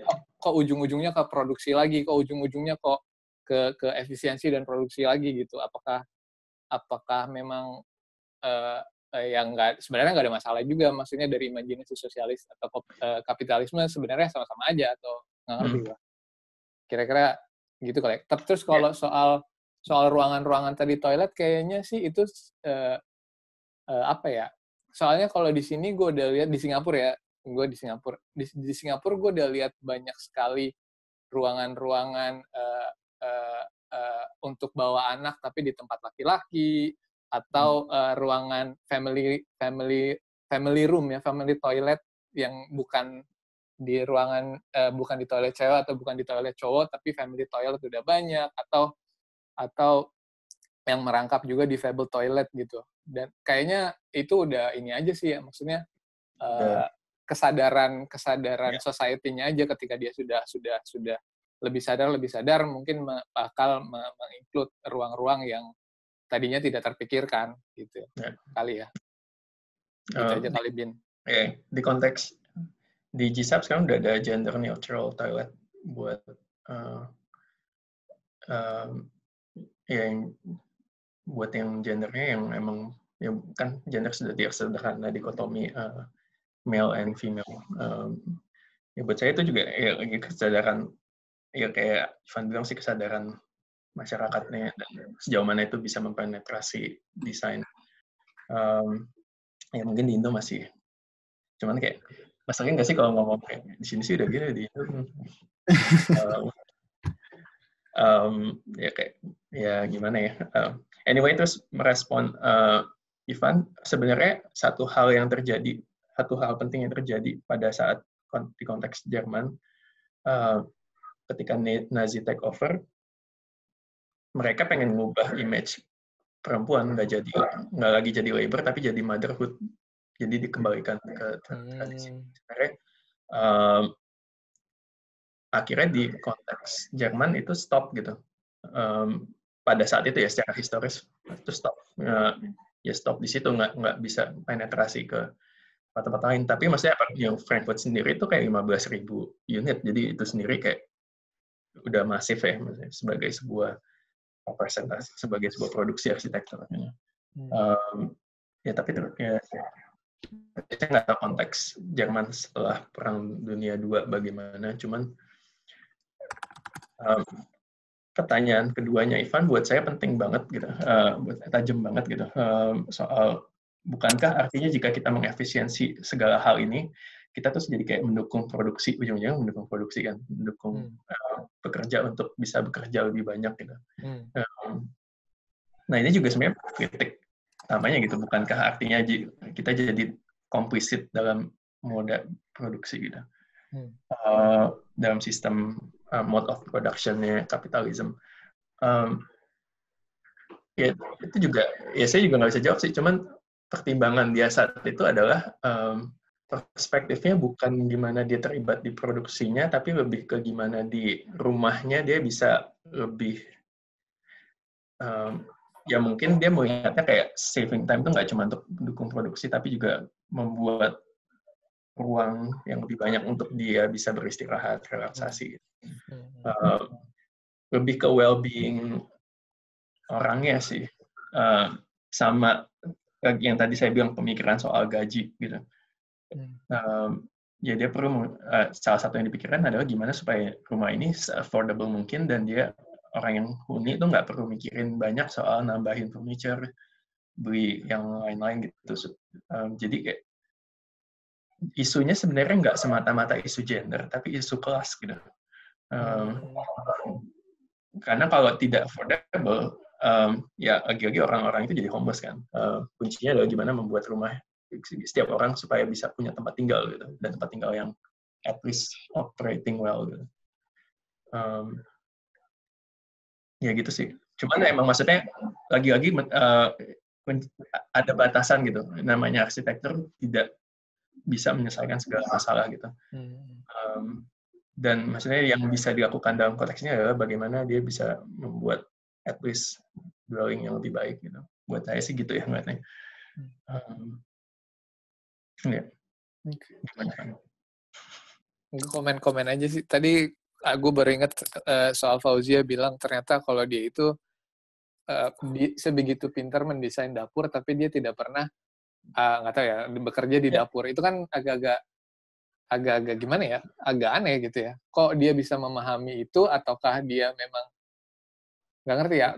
Agak-agak aneh sih sebenarnya profesi arsitek ini seolah-olah tahu tapi uh, tapi punya engagement juga dengan dengan kliennya iya. gitu. Gue gue kadang eh gue juga udah nggak belum atau udah nggak jadi arsitek lagi sih. Jadi, jadi agak-agak gue agak-agak eh, agak gimana ya?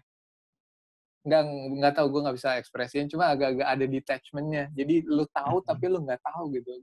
Hmm. Gua, jadi lu tahu secara knowledge tapi lu nggak tahu secara tacitnya tuh, secara gimana lu megang kompor, gimana lu ngeraba uh, wortel atau apa gitu kan yeah.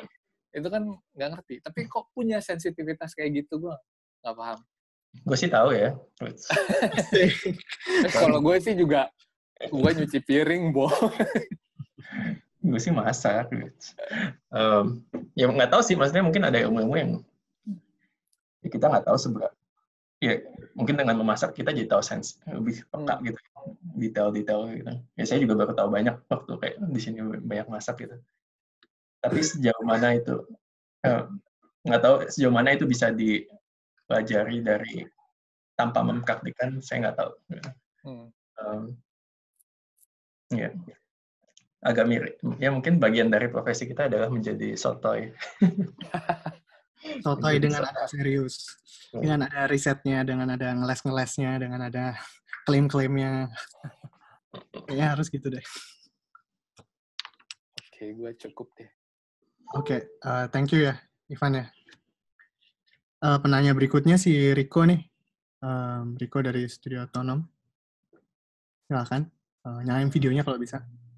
Aduh. Lagi berantakan nih. Uh, terima kasih buat Robin, uh, buat uh, sharingnya. Kita sebenarnya juga nggak pernah dengar sama sekali tentang Lihotsky ini sebelumnya. Um, tapi kebetulan kemarin tuh saya sempat ngeliat dokumenter tentang Dieter Rams yang sebenarnya bukan arsitek juga ya. Maksudnya dia lebih ke product designer tapi memang dia pernah bekerja sebagai arsitek in a very short time uh, cuma yang membuat saya sadar akhirnya kayak apakah gimana ya kalau kita bicara tentang desain in general yang memang dibuat untuk menginfiltrate keseharian kita atau mungkin uh, menyokong produktivitas kita sehari-hari gitu uh, apa ya sebenarnya ada kecenderungan pattern di mana hal-hal yang diciptakan dengan skala yang lebih kecil tuh uh, terbukti lebih apa ya lebih bisa dampaknya itu lebih ya sesuatu yang diciptakan secara domestik dan impactnya itu mungkin bisa dipahami dalam ruang yang lebih kecil gitu itu malah apa ya impactnya lebih panjang daripada hal-hal yang lebih grandior gitu loh. Seperti apa ya maksudnya kayak visi-visi tentang kota di masa-masa early modern yang post war itu kan sepertinya visi-visi yang mungkin di atas kertas terlihat praktikal tapi uh, ya gimana ya maksudnya kita lihat seperti karya Le Corbusier yang semacam Unity di Habitation itu kan kayak uh, oke okay, beberapa orang memandang itu sebagai satu karya yang mahal gitu tapi at the same time juga ada banyak bukti di mana uh, visi besarnya dia itu tidak bekerja uh, ini bukan bukan bukan pertanyaan juga sih sebenarnya itu lebih kayak komentari ya. atau lebih ke ini Iya. Yeah. Um, seperti kayak misal penemuan kertas gitu misalnya, maksudnya kayak penemuan kertas atau penemuan teknologi printing yang atau hal-hal yang diciptakan sedemikian perfectnya sehingga to some extent tuh kita hampir nggak pernah mempertanyakan efektivitas dia dalam bekerja. Ini apa sih? Kayak gue pernah baca di, apa di buku desain apa sih? Small objects ya bukunya siapa lupa um, tapi anyway kayak ya mungkin um, ini jawaban riddle aja ya maksudnya saya juga nggak punya jawaban yang hmm, hmm. yang terformulasi dengan baik nah, tapi eh, pada dasarnya saya setuju um, hal yang yang ya gut uh, gut gut is in the detail devil is also in the detail um, kayak hal kecil itu sebenarnya kayak sangat mempengaruhi cara kita uh, melakukan ya sederhana pen atau gelas gitu kayak hmm. sangat mempengaruhi uh, tapi mungkin juga mereka sangat mempengaruhi. Karena hal yang kecil yang kecil itu suka berhubungan langsung dengan tubuh. Karena kita berinteraksi langsung dengan kayak secara taktilitas kayak memegang pen atau memegang gelas. Um, tapi buat Um, tapi saya nggak tahu maksudnya apakah arsitektur sebenarnya juga jangan-jangan punya pengaruh yang sama, cuman kita nggak sadari gitu. Um, satu kutipan yang saya selalu ingat um, adalah um, arsitektur adalah seni yang tidak bisa kita hindari gitu. Kita bisa nggak lihat lukisan, tapi kita nggak bisa menghindari arsitektur gitu. Um, ya bagaimana kita pasti akan selalu berada dalam karya arsitektur gitu. Ya, meskipun tidak bersentuhan langsung uh, secara taktil, tapi sebenarnya kita berada di dalamnya setiap saat gitu. Jadi uh, mungkin juga jangan-jangan itu juga banyak pengaruh yang kita nggak sadari gitu. Uh, yang ya maksudnya saya nggak bisa jawab secara contoh spesifik, cuman saya lagi jadi mikir ya benarkah hanya small objects yang uh, penetrasinya sedemikian rupa, tapi kesadaran kita akan pengaruhnya sangat kecil. Jangan-jangan arsitektur itu juga seperti itu gitu. Hmm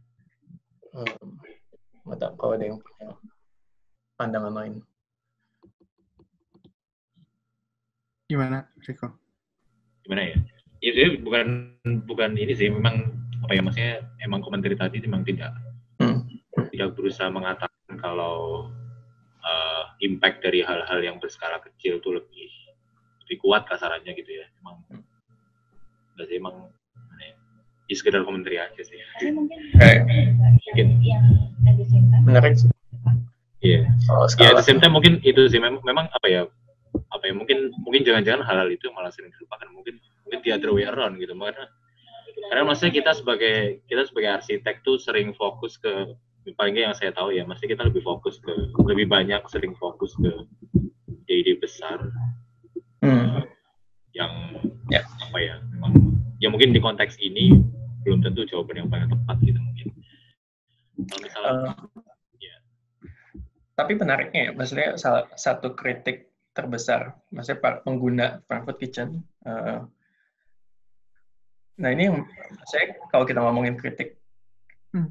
itu berarti kita ngomongin nggak semua orang ya, maksudnya ada orang yang merasa eh, ada yang bermasalah gitu.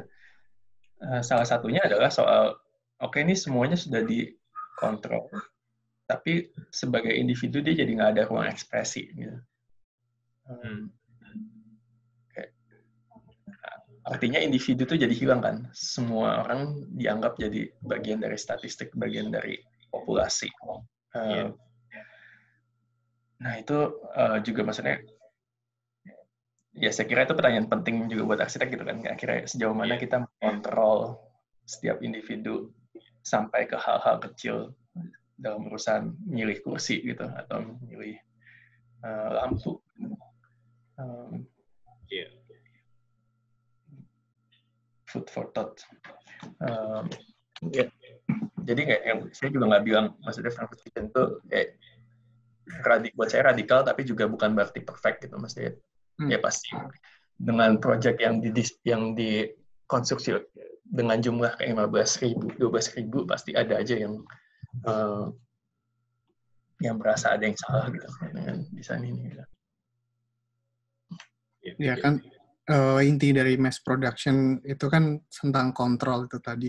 Bagaimana semua itu harus disamakan dan semua itu harus di eh, intinya adalah pengaturan behavior itu kan. Nggak tahu apakah itu ada big brother yang bicara seperti itu atau enggak kita nggak tahu. Tapi yang jelas saat itu overgrowth population sehingga akhirnya harus harus adanya sistem yang langsung mengatur semua behavior itu. Dan pastinya kalau Robin cerita tadi ki- satu kitchen uh, 12 ada dua, di 12 ribu unit apartemen pastinya pastinya ada juga yang tidak memakai itu dengan tepat kan? Atau atau nggak semuanya juga akhirnya menganggap itu efektif pastinya. Tapi setidaknya sistem itu pernah dibuat untuk mengatur sebuah behavior. Rasanya modernisme itu juga bagiannya seperti itu ya pengaturan uh, pengaturan behavior manusia. Atau ya itu juga asal asal ngomong aja. Oke eh, gitu gitu rasanya Riko ya Oke. Cukup ya? Oke. Penanya berikutnya dari Kamil. Halo Randy, halo Halo. Robin. Yuk, Video dong. eh mana videonya? Aduh, padut nih. Oke. Ya, Eh, silakan. Bin, oh iya. Iya. Eh, terima kasih presentasi gue tadi agak telat, tapi eh, masuk pas bagian eh, soal gimana dia itu tadi something tentang informal settlement dan dia ngelihat kitchen itu sebagai sesuatu yang bisa grow gitu ya, atau saat, saat eh, ya desain dia itu sesuatu yang bisa berkembang. Um, gue ada pertanyaan Bin soal dapur ini, karena gue mencoba merefleksikan ini ke konteks kita misalnya, konteks Indonesia gitu, bagaimana dapur itu dilihat eh, eh, bukan bukan bukan sebagai ini gue ada asumsi by the way. Eh, bukan sebagai ruang kerja tok gitu tapi di situ ada ruang budaya. Em, itu juga secara produk itu terbukti dari makanan-makanan yang berbeda di setiap tempat. Oke. Eh, namun juga em, kalau misalnya kita kaitin ke misalnya contoh eh, berbagai macam informal settlements di Indonesia eh, posisi dapur yang cenderung itu ada di belakang itu karena itu menjadi bagian dari domestic spaces gitu. Tempat yang bisa orang itu bisa ribet lah bisa kotor bisa agak basah kayak agak kayak gitu-gitu. Nah ini ini bagi gue menarik karena eh, menarik dalam artian kalau bisa disandingkan dengan apa yang coba dilihat oleh apa eh, oleh Lihotzky ini Um, karena apakah pertanyaan gue gini lo, uh, kalau bagi lo sendiri, apakah lo melihat Lihotsky ini um, memandang dapur itu sebagai suatu ruang um, produksi yang mekanistik gitu ya? Yeah. Atau itu merupakan suatu ruang domestik gitu? Domestik maksudnya jadi ada orientasi soal keluarga, orientasi soal budaya, preparation itu, itu kayak jadi bagian yang memang yeah. Uh, nuclear family gitu ya. Um, karena memang kecenderungan modernisme uh, you know, berangkat dari rasionalisme, bla bla itu yang mencoba mereduksi dan me, me, apa mengefisiensikan berbagai macam aspek kehidupan gitu ya tadi hmm. seperti lo bilang gitu uh, sehingga ujung-ujungnya bisa mendorong uh, kita itu hidup sangat mekanistik gitu sedangkan uh, di banyak contoh soal dapur di dunia ini uh, dapur adalah tempat untuk justru uh, it's my place gitu ya uh, gue ada sedikit pengalaman uh, pernah mencoba merancang dapur bersama gitu beberapa kayak uh, di tempat gitu ya, beberapa warga kampung gitu. Uh, dan salah satu yang menarik adalah dapur itu menjadi satu-satu tempat yang mereka nggak mau share dengan keluarga lain. Um, tempat-tempat lain mereka mau share, tapi dapur itu nggak mau di-share gitu. Um, karena bagi mereka itu udah uh, ini, jawab, jawabannya atau alasannya itu nggak pernah spesifik clear ya. Uh, tapi melalui berbagai macam proses gitu, akhirnya yang gue tangkap adalah uh, karena dapur itu adalah tempat pribadi, itu adalah uh, pri, tempat domestik pribadi, tapi at the same time bukan pribadi individu gitu. Melainkan ada suatu logika kolektif yang agak berbeda gitu. Misalnya orang kalau ke dapur itu artinya kamu masuk ke dalam area ranah privat keluarga saya gitu. Yep. Itu saya menciptakan tempat ini. Um, nah itu satu. Terus yang kedua yang mau gue tanya adalah apakah uh, lu ngeliat nggak sih uh, si dia nih si Liotsky ini paralel timingnya mungkin dengan gerakan co-housing. Uh, co-housing di di uh, di catatan gue tuh kalau nggak salah ya gue lupa lagi. Kayak pertengahan lah pertengah pas pasca perang dunia dua itu kan uh, mulai ada tuh gerakan-gerakan co-housing yang sebenarnya uh, banyak ngomongin soal dapur juga. Jadi hmm. dapur itu yang awalnya itu diposisikan sebagai tempat perempuan uh, um, sorry gue gue takut salah. Ini gue tadi udah ini sebelum ngecek catatan gue. Um, dulu itu adalah kayak misalnya dapur itu satu uh, satu rumah satu dapur yang kalau gue lihat dari contoh uh, Leoski tadi itu dia berangkat dari kayak gitu ya. Jadi satu rumah itu satu keluarga dan satu dapur ya. Uh, maka berkembang menjadi kayak satu uh, dapur satu komunal dapur untuk berbagai macam untuk banyak unit gitu. Uh, nah dorongannya yang menariknya bagi gue dorongannya dari yang movement atau penggagas penggagas si co-housing ini adalah justru melihat bahwa yang di dapur itu shift terbesar co-housing itu kan dalam sejarahnya adalah memposisikan bahwa kerjaan domestik itu bukanlah kerjaan perempuan atau bukanlah kerjaan individu, melainkan kerjaan bersama. Justru ya. uh, uh, gagasannya adalah kerja domestik itu adalah itu adalah poin dari co-housing, bukannya ya. menyerahkan, bukannya mengadakan ruang bersama-sama gitu. Uh, nah ini gue penasaran, Liotsky ini uh, seiring dengan waktu itu, um, kalau gue lihat di umurnya mungkin kalau itu sekitar di umur 50-60 tahun kayaknya itu ada nggak sih dia bersandingan dengan si gerakan-gerakan co-housing ini? Ya. Itu aja, Bin. Iya, iya. Uh, okay. Ini banyak banget nih menarik. Um, coba jawab sepengetahuan. Gue coba jawab sepengetahuan gue uh, soal Lyotsky yang pengetahuannya cukup pendek. Pengetahuan gue cukup pendek soal Lyotsky, jadi juga bukan otoritas yang baik. Tapi uh, jelas dia perspektifnya Marxis ya. Maksudnya dia uh, emang uh, Marxis garis keras buat dia ya base-nya adalah ekonomi gitu. Uh, jadi sebenarnya kelas itu adalah isu dia yang paling penting gitu. Uh, agama budaya adalah buat dia ya superstructure gitu, bukan bukan bukan core-nya gitu. Uh, yang maksudnya saya juga nggak nggak megang uh, nggak buat saya mungkin sama, sama kayak Kamil kalau ngelihat dapur tuh ya sebenarnya ini ruang budaya, budaya itu sangat mempengaruhi gitu. Uh, gimana orang berinteraksi di dapur tapi mungkin buat dia ngelihatnya subsistennya tetap ada ada di ekonomi. Hmm. makanya dia sangat pengen memekanisasi semuanya gitu uh, mungkin buat dia budaya tuh bukan uh, penting tapi bukan on the survival level gitu. Uh, makanya prioritas dia adalah uh, mekanik mass product. Um, ya secara individu saya nggak akan mau gitu kalau dapur saya dimekanisasi segitunya gitu. Tapi saya ya mungkin menariknya dalam kasus ini ya mungkin melihat ini sebagai oke okay, satu wujud di mana dia benar-benar totalitas dalam uh, ideologi dia terus mencoba rasionalisasi segalanya gitu. Uh, cuman itu menarik sih. Uh, dan tapi mas, mungkin masalahnya ketika kita ngomong culture sulit gitu loh, sulit untuk membuat satu tipe karena culture itu terlalu beragam. Uh, ya maksudnya kita ngomong Indonesia aja tuh terlalu banyak gitu loh cabang-cabangnya. Ngomongin uh, Chinese Indonesian aja, maksudnya kita bisa ngomongin Chinese Indonesian dari segi uh, uh, Teochew atau Hakka atau uh, Ke uh, atau uh, Hokkien, maksudnya itu punya tradisi-tradisi sendiri yang nggak bisa kita uh, kotak-kotakan gitu. Uh, dan di sini jadi ruang ruangnya jadi terlalu ruang gerak untuk membuat mass product jadi susah kalau kita mengutamakan kebudayaan gitu. Um, jadi bukannya saya nggak setuju, tapi ada saya kira ada konteks dalam konteks project ini ada hal yang lain yang perlu diprioritaskan gitu. Apa itu terkait ke apa itu terkait ke soal mass production pasca Perang Dunia II gitu untuk ngebut pembangunan uh, kan, Bin? Perang Dunia Satu lah ini. Berarti kan dia 1903 Frankfurt Kitchen itu 1926. Um, iya sih, um, eh, perang dunia satu Jerman banyak tentara cowok banyak populasi cowoknya turun yeah. Ya. um, populasi cewek jadi diabsorb untuk buat kerja uh, mereka perlu produksi produk, produksi banyak uh, tapi juga um, housing crisis jadi makanya perlu ngebut produksi uh, rumah gitu jadi itu berkaitan sih um, terus uh, menjawab soal co-housing um, sebenarnya ide-idenya udah ada di sini sih. Maksudnya di, di denah yang tadi saya kasih lihat soal rumah settlernya dia tuh sebenarnya satu dapur untuk banyak orang ujungnya kan. Um,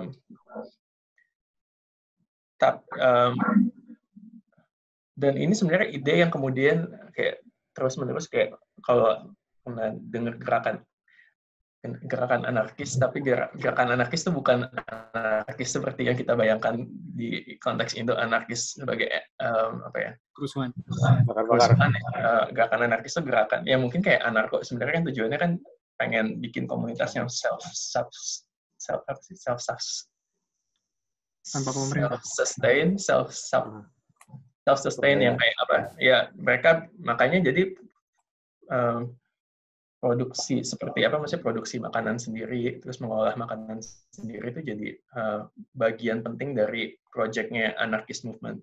Uh, nah terus uh, apakah dia ke arah sana? Apakah si Lihotzky ke arah sana? Uh, kolektivitas soal kolektivitas ruang domestik uh, ruang domestik yang dijadikan kerja kolektif.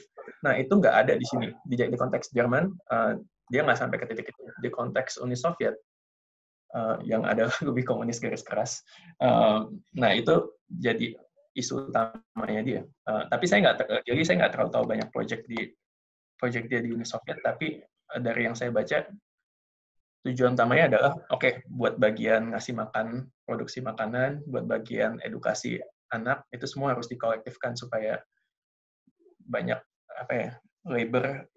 Domestik yang bisa diefisienkan. Hmm. Uh, gitu sih. Udah cukup dari Kamil? Eh, ya, ada cukup. Ah. Cukup, oke. Okay. Ya, yeah, thank you. Okay. Thank you, Mel. Iya, Perang Dunia Pertama ya, Bin, ya, benar? 20-an ya? Ada satu. Uh. Berarti uh, Workpunk Exhibition yang yang di Stuttgart kalau nggak salah itu juga juga yeah. tujuannya sama ya. Maksudnya yeah. uh, memamerkan konsep uh, modern housing pasca perang besar pertama yang terjadi di dunia. Uh, Oke, okay, Mas Iwan mungkin uh, selaku perwakilan wali kota Surabaya mau menggerbek ini Silakan, Mas Iwan. Mencekal nih ininya. berupa tanggapan juga atau ya bukan berupa pertanyaan juga sih sebenarnya. Sebenarnya menyambung apa yang udah tadi penanya-penanya sebelumnya. Yang menjadi sangat radikal itu memang mengatur sampai ke gimana uh, gerak tubuh di skala dapur ya, maksudnya yeah. gitu. Karena pertama yang uh, uh, di slide-slide pertama itu, saya saya cuman baru melihat bahwa intervensinya dia itu pada zoning ruang. Saya pikir gitu. Oh, zoning ruang tengah ya, logis lah, ya umum lah. Tapi menjadi sangat apa ya? Menjadi sangat uh, radikal ketika dia sampai lu kerjanya harus kayak gini gitu. Iya. Lu kerjanya harus kayak gini dan dan menurutku gini, produk arsitektur itu memang saya percaya kadang kita tidak bisa mengintervensi dia secara geometrik kadang-kadang. Kadang-kadang hmm. karena begitu ya nggak tahu ya gimana peraturan saat itu, gimana mekanisme pembangunan saat itu, standarisasi dan segala macam, sehingga akhirnya pilihannya pada kitchen gitu loh, pada dapur. Hmm.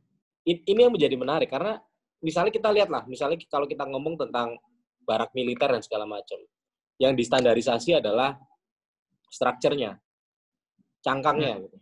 Ya. ya kan. Tapi ini sebenarnya yang saya pengen tahu banget dasar apa yang membuat itu. Apakah yang kayak Robin sampaikan sebelumnya bahwa akhirnya surplusnya wanita sehingga biar wanita lebih efisien bekerja dan segala macam dibuatkan sebuah sistem dapur yang efisien yang di mata satu orang efisien gitu ya yang belum yang belum tentu juga buat yang lain efisien gitu mm -hmm untuk ngepush itu gitu loh maksudnya. Uh, aku nggak bayangin hidup di era itu di mana dapur udah disiapin dan dan nggak ada diskusi dengan aku sebelumnya. Kalau misalnya kita ya, ya. Kan, sangat iya kan sangat custom kan, maksudnya eh aku tuh sukanya naruh ini di sini, aku tuh nah itu itu wajar gitu. Ya. Wah akhirnya kita datang itu saya ekspektasi kita. Tapi aku datang ke sebuah dapur yang sangat tersistem, di mana aku harus naruh ini, naruh ini, naruh ini, dan itu loh itu ngeselin banget sih kalau menurutku. Itu ngeselin. banget. Di satu sisi ngeselin tapi satu sisi brilian tapi satu sisi ngeselin gitu. Maksudnya mungkin pembacaan di mana satu titik core yang sangat apa ya pengaruhnya besar gitu. Terus mereka take control di situ tak gitu udah. Yeah. itu wah gila banget sih. Karena kalau lihat ya visual visual rumah-rumahnya kan ya kita lihat biasa-biasa aja lah ya mungkin hmm. kalau yang yang pertama juga masih sangat uh, terpengaruh dengan apa uh, rumah-rumah suburban. Yang kedua juga terpengaruh dengan kubisme dan segala macam. Maksudnya nggak ada nggak ada nggak ada uh, suatu inovasi dalam hal geometrinya gitu. Yeah. Atau gara-gara itu, atau gara-gara ketika dia tidak tidak bisa memberikan intervensi geometri, dia hmm. mainnya ke skala-skala yang kecil. Mungkin loh ya, mungkin ya. Karena ya aku, aku pernah sih ya gini ini ini uh, ini kaitannya sama ada beberapa diskusi dengan teman-teman teman-teman tuh sering kalau misalnya kita mulai karir itu kan sering yang datang ke kita tuh kan udah bawa gambar duluan nih eh saya punya gambar nih yang kayaknya gue suka gitu lu bisa bikin gambar kayak gini nggak gitu nah akhirnya kan big picture-nya itu udah dikontrol sama si si klien tuh akhirnya gimana kita cara masuknya gitu kalau geometri besar kita nggak bisa masuk, kita masuk ke space. Kalau space nggak bisa masuk, kita masuknya ke detail yang lebih kecil, misalnya engsel, handle, ya kan? Atau misalnya hal-hal yang misalnya uh, yang bisa kita presentasiin sebagai suatu yang kelihatan bahwa kita sedang melakukan riset atau sintesa dari suatu masalah. Gitu. Hmm. Aku kok curiga juga ada hal-hal yang membuat apakah itu hambatan mental ataukah budgeting atau apa yang membuat akhirnya pilihan itu jatuh ke dapur itu di skala yang segitu itu itu, itu aja sih. Pada umumnya saya juga saya kalau ngeliat ini juga kesel juga gitu maksudnya kayak setiap semuanya didikte kan sebenarnya kan. Yeah. um, didikte gila-gilaan gitu. Ya saya kalau misalkan beli mesin kopi ini mau taruh di mana nih? Beli mesin espresso taruh di taruh di living room. Um, tapi uh, pemikiran dia yang uh, saya tahu sih ya uh, kenapa dapur. Dan maksudnya ini bukan cuma dia tapi office of construction ya. uh, tim. uh, tim timnya dia uh, dapur itu merepresentasikan tempat di mana household housekeeper menghabiskan waktu terbanyak di rumah gitu. Uh, ya ini saya nggak tahu seberapa seberapa benar klaim itu. Uh, cuman yang saya tahu itu gitu, karena ini tempat yang paling sentral buat buat apa namanya buat untuk me, yang paling bisa di, dimaksimalkan untuk men, mengur, save time itu bahasa Indonesia nya hemat waktu kurang enak ya. Menghemat waktu. Um, terus dan mungkin juga karena ini uh, ini satu satu jurnal yang saya baca juga soal uh, mungkin pemikiran kita akan dapur itu sebagai basis utama dari sebagai bagian yang tidak terpisahkan dari dwelling. Itu mungkin pemikiran yang ada di kita sekarang tapi belum tentu saat itu gitu um, untuk konteks kelas ini ya untuk konteks kelas men, kelas menengah kelas menengah ke bawah terutama untuk kelas kelas uh, ekonomi rendah dapur itu belum tentu jadi bagian unit dari duelnya dia gitu. Dapur itu suka muncul sebagai satu um, apa ya tambahan yang oke okay, ruangnya nggak ada, jadi mereka bikin beli alat-alat kayak gitu-gitu. Jadi akhirnya nggak ke desain kan. Hmm. Di sini makanya intervensi dia adalah dari awal, oke okay, kita harus sudah mikirin bahwa ini harus ada dapur dan dapurnya harus operasional dengan baik gitu. Hmm.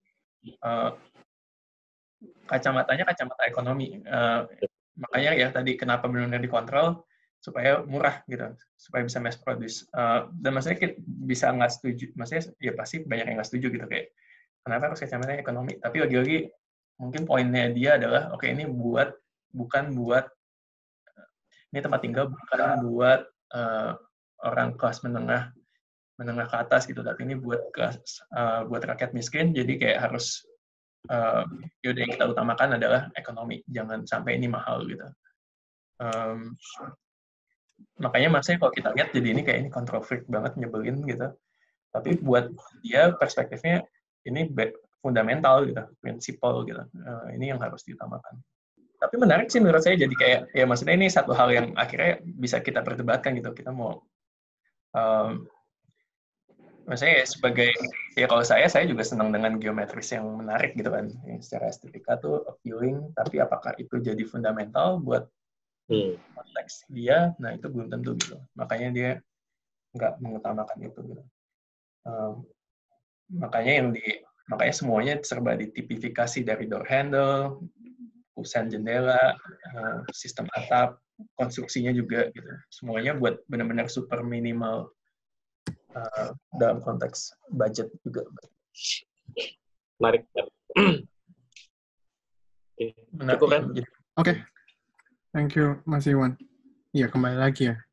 Masalah mass production ini saat itu itu benar-benar krusial banget dan pada akhirnya ada beberapa elemen yang memang harus harus dikesampingkan ya seperti yang tadi Mas Iwan bilang eksplorasi estetika dan lain-lain karena um, yang pastinya ada beberapa hal yang yang mempengaruhi ini. Maksudnya kenapa dari neoklasik uh, lompat langsung ke era itu era modernisme karena beberapa hal itu yang membuat uh, hal, -hal seperti ini itu tidak bisa lagi menjadi kunci utama. Kalau dulu kan orang ber berpemikirin fasad tuh.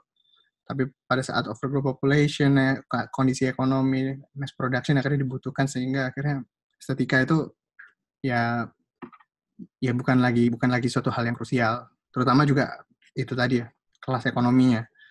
Rasanya itu deh. Uh, ada ada dua penanya dari chat sih. Tapi nggak tahu kayaknya kita sudah sempat bahas ya. Ada dua penanya. Pertama dari Sheila. Yes. Uh, Coba Sheila diklarifikasi. Iya, si Sheila harus ngomong langsung nih kayaknya. Ibu arsitek, silakan. Hai, nah. udah macam-macam padahal. Iya menarik banget pembicaraannya tentang dapur karena gue sendiri kan udah WFH since 2013. Jadi walaupun gue juga nggak bisa masak, tapi um, dapur itu kayak rasanya deket deket banget gitu secara sistem untuk di diatur. Apalagi kalau misalnya selain dari uh, pengaturan apa uh, flow di dapurnya sendiri, kalau gue juga dari pengalaman pribadi ada concern ke uh, dapur itu kan selalu punya ekses ya, punya sampah gitu. Gimana hmm, dapur itu hmm. akhirnya selain kita ngatur pas masaknya, gimana akhirnya sampah-sampah dari selesai masaknya itu tuh bisa uh, diselesaikan juga gitu. Jadi Ya. dari uh, yang gue rasa amatin sendiri uh, sistem dapur tuh sebenarnya malah malah malah kalau gue setuju gitu kalau dapur itu ada sebuah sebuah pakem yang harus ngatur ngatur nih dapur baiknya kayak gini gitu tapi Ya. disesuaikan maksudnya kayak kalau kayak Kamil tadi bilang ya harus disesuaikan sama konteksnya misalnya di Indonesia gimana di Indonesia yang di kota gimana di Indonesia yang di eh, daerah gimana gitu Hmm. Nah, terus tadi eh, apa lagi ya? Oh ya, paling kalau kayak gue ngerasanya dari hal yang barusan gue bilang kayak sebenarnya kayak dapur butuh misalnya kayak pintu. Dapur tuh wajib banget punya pintu karena masalah yang si sampahnya tadi gitu. Jadi dari Hmm. dapur dia deket nih langsung bisa eh, buang keluar gitu. Atau kalau misalnya ada yang mau ngolah eh, sampah dapurnya sendiri, itu juga harusnya di, di secara zoning ditempatkan di deket dapurnya itu sendiri gitu.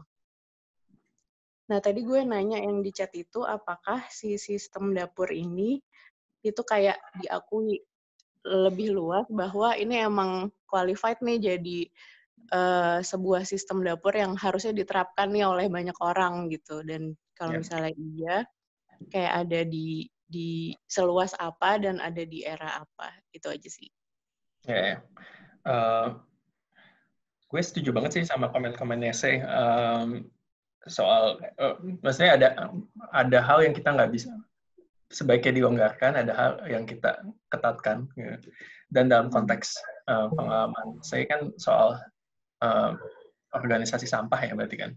Dan saya, saya kira itu kayak concern-concern yang penting buat kita pikirkan sekarang gitu kan. Concern soal gimana kita mikirin soal isu lingkungan gitu lah pertama gitu gimana kita ya maksudnya itu adalah hal yang mungkin pada saat itu bukan jadi pada saatnya Lihotsky bukan concern utama gitu Hmm. Uh, soal ya maksudnya soal pembagian sampah jadi sampah plastik sampah uh, basah kayak gitu kan juga ya mungkin pada saat itu juga sampah plastik tidak sebanyak sekarang gitu jadi itu bukan bukan hal yang menjadi concernnya dia tapi di dalam konteks kita sekarang saya kira itu jadi hal yang perlu kita pikirkan dan enggak gimana kita bisa menyelesaikan uh, sejak minimal mungkin meng- mengkontribusi sampah ke uh, me- mengkontribusikan itu ke membebankan itu ke publik. Tapi juga menurut saya itu juga hal yang lagi-lagi kayak ada batasan di mana arsitek bisa bergerak gitu.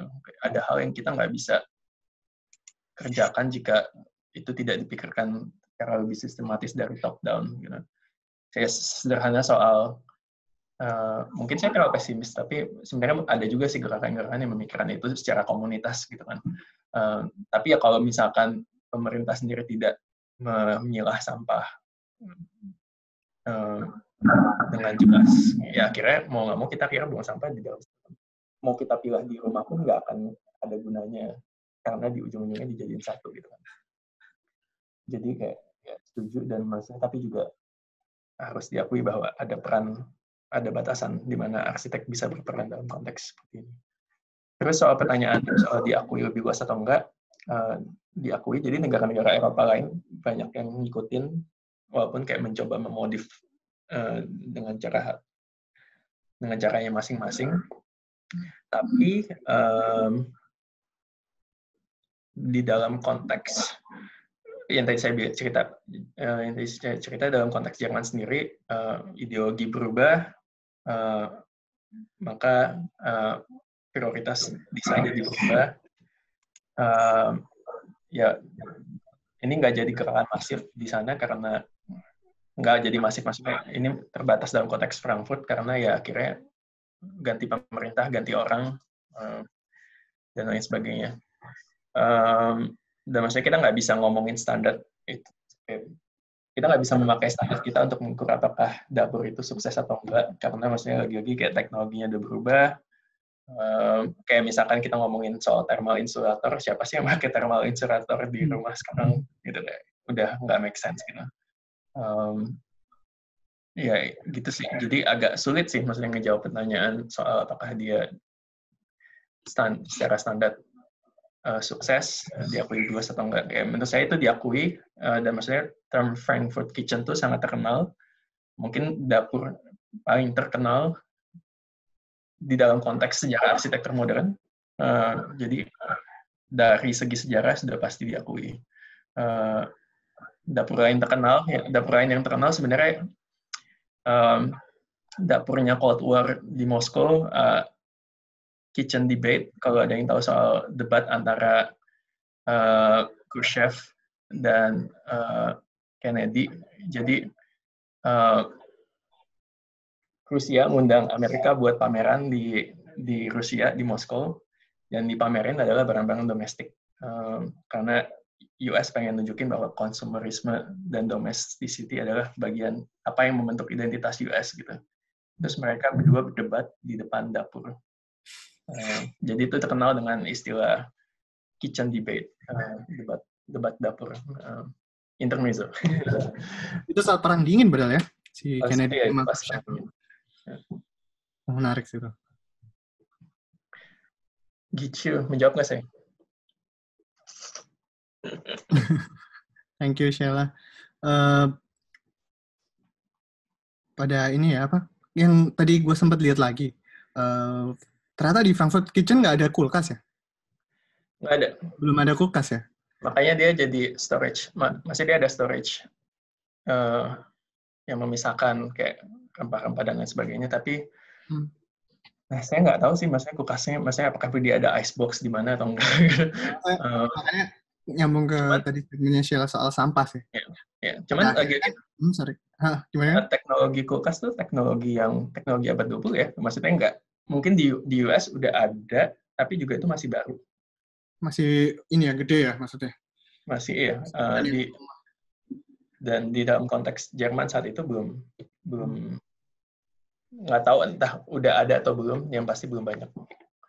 Iya sih, maksudnya pada akhirnya uh, koordinat apa pengelolaan sampah itu kan uh, pastinya tidak seperti sekarang. Maksudnya ketika kita kita melakukan penyimpanan terhadap sayuran atau apa bisa bertahan lama pada saat itu mungkin mungkin nggak bisa karena karena belum ada kulkas itu tadi. Sehingga uh, mungkin relevannya relevansinya mungkin sedikit berkurang jika memang itu diterapkan di sekarang. Karena seperti yang kita tahu kalau kita bikin kitchen set pada akhirnya kita harus memberikan slot itu kan buat kulkas. Dan itu cukup gede karena kita belum tahu kulkasnya yang kita beli seperti apa gitu ya, itu cukup cukup intermezzo juga sih oke okay, thank you uh, pertanyaannya ini terakhir nih dari Mardiana Putra nggak uh, tahu apakah kita sempat bahas sebelumnya uh, dia bilang ini menarik banget kenapa Lihotzky membuat movementnya? Apakah benar kelas menjadi sebuah isu pada tahun itu? Adakah sumber pastinya? Terima kasih. Ya, mungkin ini sebenarnya jawaban yang, eh, maksudnya pertanyaannya udah terjawab pas Mas Iwan nanya tadi kali ya, maksudnya nyambung buat buat buat tim construction office ini emang ya buat mereka uh, kelas itu jadi kelas itu jadi isu penting tapi juga intersection dengan uh, gender. Jadi nggak semata-mata kelas, tapi juga nggak bisa dikesampingkan bahwa kelas itu isu yang sangat signifikan. Um, tapi saya nggak bisa bilang um, sebuah movement. Um, maksudnya mereka rasanya uh, ya mereka bekerja dalam konteks pekerjaan mereka sebagai uh, pegawai pemerintah ya, maksudnya construction office gitu. Nah, jadi bukan, maksudnya saya nggak bisa bilang itu sebagai movement gerakan akar rumput. Ini ngomongin yang konteks Frankfurt. Kalau yang konteks Austria memang itu jadi movement akar rumput, gitu, gerakan akar rumput. Um, dan maksudnya Lihotzky bukan orang yang membuat movementnya, yang pasti. Uh, Lihotzky adalah orang yang ikut andil dalam movement dalam movement yang di Austria settlement settler movement. Um, gitu sih. Um, yang sumber pasti gue juga bingung sih maksudnya sumber pastinya tuh gimana ya? Um, ya mungkin yang nggak ada sumber pasti sih maksudnya kayak ya um, mungkin buat saya buat sebagai penutup sekalian. Uh, buat saya yang menarik sebagai sebuah studi sejarah gitu ya. Um, yang saya pelajari adalah um, di di konteks ya di konteks penulisan humaniora di sini kita sering nyebut studi kasus itu sebagai exhibit, jadi bukan example. Uh, exhibit itu ada konsep menarik buat saya karena ya udah uh, ini ada kasus begini, uh, ini open for interpretation, jadi terbuka buat berbagai macam interpretasi, uh, tapi kamu tetap harus sebagai sebagai penulis ya tetap harus setia pada bukti gitu, setia pada bukti yang ada gitu, sumber-sumber uh, primer.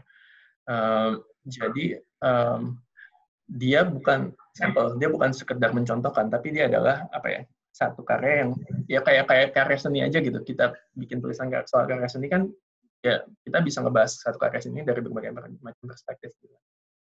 Um, jadi kayak kalau dibilang sumber pasti, menurut saya kayak nggak yang ada sumber pasti gitu. Tapi uh, saya coba sebisa mungkin kayak ketika saya ngebahas ini ya saya ngebahas dengan referensi-referensi yang ada gitu. Uh, baik itu sumber primer yang ditulis oleh Lihotzky sendiri uh, atau uh, sumber sekunder uh, yaitu maksudnya peneliti-peneliti atau sejarawan lain yang nulis soal Lihotzky. Gitu.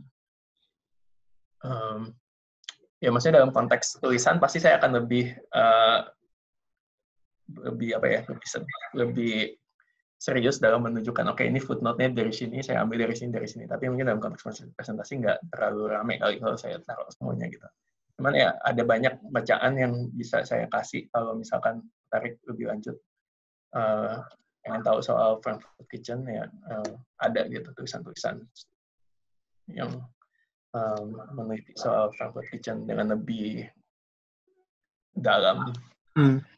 Gitu. Tapi beruntungnya beruntungnya si Lihotzky masih uh, menaruh penting ya masalah literasi ya. Maksudnya bayangin kalau dia tidak menulis pada akhirnya kan kita kita sebagai orang Indonesia ya yang jauh dari Austria pada akhirnya tidak benar-benar pada benar-benar ya. tidak tahu gitu loh. Nah, itu uh, menarik tuh. Menurut uh, mungkin maksudnya saya pas pas dikasih briefnya kayak maksudnya pas ngeliat posternya kan pasti kan pertanyaan yang semua orang ya maksudnya. Poster ini poster acara Rabu Madah gitu. Ini kan arsitek luar negeri semua nih. Hmm. Uh, uh, kayak gimana ya maksudnya kayak kadang juga kita ngebahas arsitek luar negeri itu cukup berjarak gitu kan. Hmm. Kayak uh, ya buat saya itu kesempatan buat memahami banyak, tapi lagi-lagi kan baik kan ke konteks kita gitu. Ada nggak sih orang yang bisa kita bahas dengan sedemikian rupa, dengan sedemikian dalam, tapi akan sangat sulit misalkan saya pikir, oh bisa nggak ya, ada nggak ya nama Indo yang bisa saya bahas kayak gini nih. Terus ternyata susah banget gitu, karena nggak banyak tulisan soal arsitektur Indo yang ngupas ngupas sebanyak itu, gitu, ngupas dalam itu. Gitu. Nah, mungkin tuh jadi PR bersama sih, kayak memperbanyak referensi-referensi Indonesia uh, yang berbagai rupa itu, yang maksudnya praktik arsitektur. Di Tasik kita nggak punya nama-nama yang bisa menarik kita bahas seperti ini gitu. Gitu. Iya sih. Ya kita tahu ada beberapa, maksudnya kayak kita pernah tahu pernah ada buku berjudul relativitas. Maksudnya itu kan pertama kali yang dihasilkan yeah, oleh arsitek yeah. Indonesia dan mengupas soal gagasan itu sendiri dan dan itu nggak banyak ya. Maksudnya ketika semua arsitek berlomba-lomba menghasilkan profitable book, tetapi tentu yang kita tahu Mas Mamo selalu punya caranya sendiri untuk menceritakan proyeknya. Hmm. Uh, dan isinya semua hampir semuanya gagasan uh, menarik sih. Dan mudah-mudahan harusnya sih akan lebih banyak yang seperti ini. Maksudnya lu sempat ngobrol sama Dani apa buku buku relativitas itu nggak boleh bersequel, tapi harusnya orang lain yang yang udah mulai bikin serupa gitu, itu sih kayak menarik. Uh, kita wrap kayaknya. Uh, sorry banget, ini ada penanya baru Adrian Emmanuel. Tapi kayaknya kita udah wrap. Tapi nggak tahu gimana Robin. Apa? Adrian suruh ini WA gue. Bisa langsung di WA di nomor bawah ini. Secara di New York ya? Adrian ya di New York. Ah, tinggal nyamperin lah. Kan iya. lockdown udah ini mulai. Main, main aja. Sorry banget karena kita biasanya dua jam maksi dua jam itu maksimum tapi uh, ya memang ada nggak ada habisnya sih kalau diskusi kayak gini dan ini uh, kita wrap dulu, Bin. Uh, thank you banget. Lagi, thank you banget udah mau ini. Gue boleh ini ya satu kata penutup, maksudnya gue senang banget bisa melihat warga-warga plus 62 mengobati rasa kangen berkarantina di sini dan senang bisa bertukar pandang, bertukar pikiran. Terima kasih. Terima kasih banyak juga buat Pak Robin, uh, teman dari beberapa tahun lalu. Gue masih ingat diskusi sebat kita waktu di Papua, kayak sampai kapan ya ini? Kayak kita sempat bahas apa gitu, kayak uh, dunia akademik kalau nggak salah. Terus sampai kapan ya akademik Indonesia harus kayak gini? Ambil, ambil ngerokok di di depan uh, biara di Papua, di Wamena, situ di Lembah Baliem. Terus tiba-tiba ada satu satpam orang Papua bilang, eh jangan ngerokok di depan. Minggu lalu habis ada yang ditembak sama Gam. Eh, Gam. Ini yang sesat nih. Gue padahal nggak rokok tuh diajak ngapa sama dia. Yang minta siapa? Oke. okay. Uh, rasanya cukup. Uh, thank you sekali lagi thank you buat Robin buat sudah menambah satu vokabulari baru. Juga misi awalnya seperti itu. Uh, mungkin uh, ini diawali dengan kurang mungkin kita belum banyak kesadaran tentang vokabulari arsitektur yang yang cukup luas maksudnya vokabulari arsitektur begitu luas, tapi kok kita akan sangat rugi jika kita hanya menutup di satu dua tiga arsitek saja. Ketika kita bisa belajar dari A sampai Z, kenapa harus belajar cuma A sama B kan? Makanya namanya itu sih, sesimpel dan sereceh itu sebenarnya. Tapi uh, tau nggak sih awal sejarahnya kenapa sih A to Z namanya? Waktu itu bukan, bukan terinspirasi dari proyeknya ini ya, Museum Macan? Bukan tuh, si ya memang ada bukunya Z sih, buku yang pernah dia diwawancarai Obris itu lupa gue namanya si uh, itu sih di museum macan museum macan juga bikin seri podcast A to Z uh, oh, iya. kalau penasaran maksudnya itu lumayan menarik sih banyak topik-topiknya lebih ke seni ya tapi uh, oh, okay. tapi dia ngurut A B C D E F G H I J K L M N ya gitu oh gitu tapi ya. tapi uh, awalnya sih kayak gitu kita kita niatnya mengurutkan uh, abjad tapi, tapi akhirnya udahlah kita semutin terlalu, terlalu mendikte. Ya iya. Kayak, Terus nanti jadi ini kayak kayak kitchennya Lihotsky nanti. Iya. Terlalu bersih. Oh, iya. uh, ngomong-ngomong podcast, um, dua titik nggak sebenarnya ah, iya. ada satu pertanyaan ini di kepala kepala kepala gue kayak sebenarnya pengen bertanya aja sih kayak sebenarnya ini kan um, salah satu ini sorry ya jadi mau perpanjang uh, omongan um, maksudnya ngomongin ya maksudnya buat saya ngelihat kesempatan ini kesempatan buat ngelihat orang uh, figur arsitek nggak cuma dari segi inovasi spasial inovasi ruang uh, atau inovasi arsitektur tapi juga ngelihat sosok humannya dia gitu sosok humanioranya dia uh, buat ya maksudnya buat saya yang menarik itu adalah cerita-cerita seperti itu gitu. Cuman ya saya maksudnya nggak tahu aja gitu kayak sebenarnya sejauh mana sih itu menarik buat kalian gitu kayak mendengarkan sisi uh, yang nggak cuma soal, misalnya kalau kita biasa kan kalau sebagai profesi arsitek biasa kita belajar sejarah, mencoba mencari apa yang bisa kita terapkan di apa yang bisa menginspirasi kita buat ngedesain. Ya, kita ngomongin presiden misalkan uh, sejarah itu sebagai instrumen buat membantu kita mendesain gitu.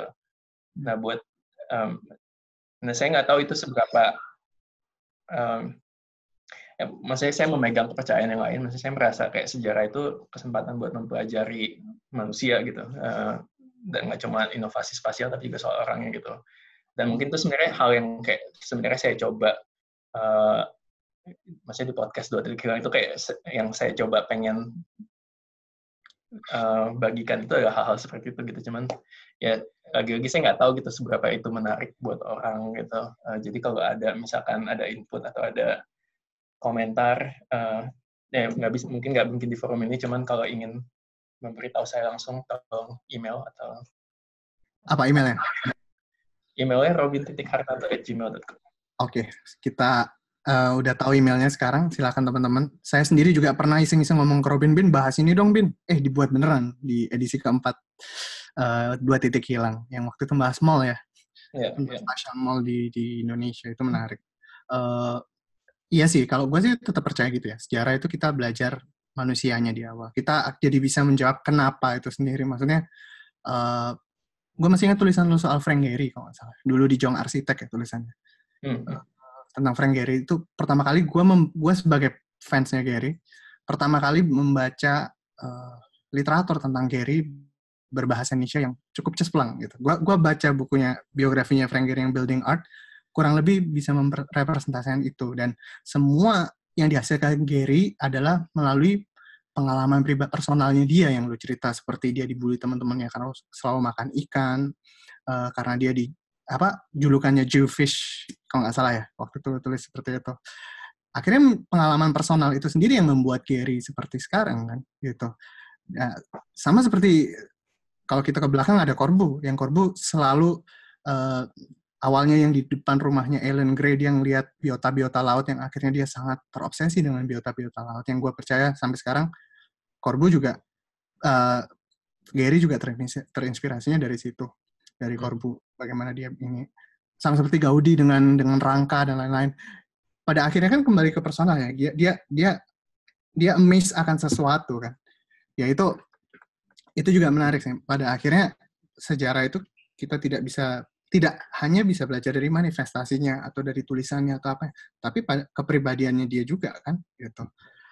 Yang tentunya lebih men, apa lebih dalam. Maksudnya kita nggak bisa tahu menau lebih banyak kan karena meskipun itu hal itu ditulis dalam sebuah buku juga kita nggak bisa uh, tahu seluruhnya. Kayaknya gitu apa apa gue omongan yang lain-lain juga. Kayaknya gitu ya ya? bener iya, nggak? ya, setuju. Setuju oke oke uh, thank you. Semoga sukses buat sekolahnya Bin. Cepat lulus ya. cepat jadi profesor muda balik ke Indonesia. Nggak tahu lu balik nggak? Balik lah dicariin dicariin uh, bapak-bapak di UPH cariin Pak Cungs oke oke eh, teman-teman terima kasih yang udah tanya uh, dan udah berdiskusi juga teman-teman yang udah mau datang di tengah-tengah karantina dan di waktu yang uh, cukup uh, malam ini saya serahkan kembali ke ke uh, host kita Rabung Mada ke Ijul. Terima kasih. Ya. Selamat malam. Uh, terima kasih teman-teman. Terima kasih uh, Robin. Itu uh, insight yang menarik banget. Gue jadi ingat ada ada yang pernah nonton ini nggak sih? Mohon Onkelnya Jack Stati tahun 58. Kayaknya ada scene um, di mana seseorang yang interaksi dengan kitchen yang kayaknya sih itu Frankfurt gitu. Jadi itu hmm. istilahnya gimana orang itu kesusahan dengan uh, layout kitchen itu sendiri. Jadi mungkin ada yeah. kritik di sana. Ya, uh, sekali lagi terima kasih uh, 60 orang yang masih hadir dan mendengarkan sampai sekarang. Uh, mungkin sebelum saya mau menutup uh, sesi kali ini, uh, mungkin pengen ngasih teasing dikit sih buat agenda kita pekan depan. Jadi, uh, A to Z Architects seri ke-8 pekan depan. Kita akan mengambil huruf I, E, Eisenman. Kita akan bahas Peter Eisenman dari perspektif uh, salah satu teman kita, Alikan Thailand. Jadi mungkin sesinya dalam bahasa Inggris, kita udah pernah melakukan itu juga. Dia adalah arsitek di Tom Laser dan lecturer di Pratt Institute. Jadi ya itu aja sih. Palingan. Dan ya sekali lagi terima kasih buat semua yang udah hadir dan partisipasinya. Uh, mungkin teman-teman ada yang baru masuk uh, saya Zulfikar Ibrahim saya dan teman-teman dari Rabung Madah uh, kita tuh kolektif arsitektur yang bergerak dengan tujuan menjembatani konseptual dan pragmatis dan mempunyai mimpi yang lebih besar lagi untuk membangun peradaban arsitek di Indonesia. Kurang lebih seperti itu. Ya. ya terima kasih semua teman-teman. Virtual applause mungkin. Bye. Langsung kita Bye. Thank you, thank you, thank you. Thank you, thank you, thank you.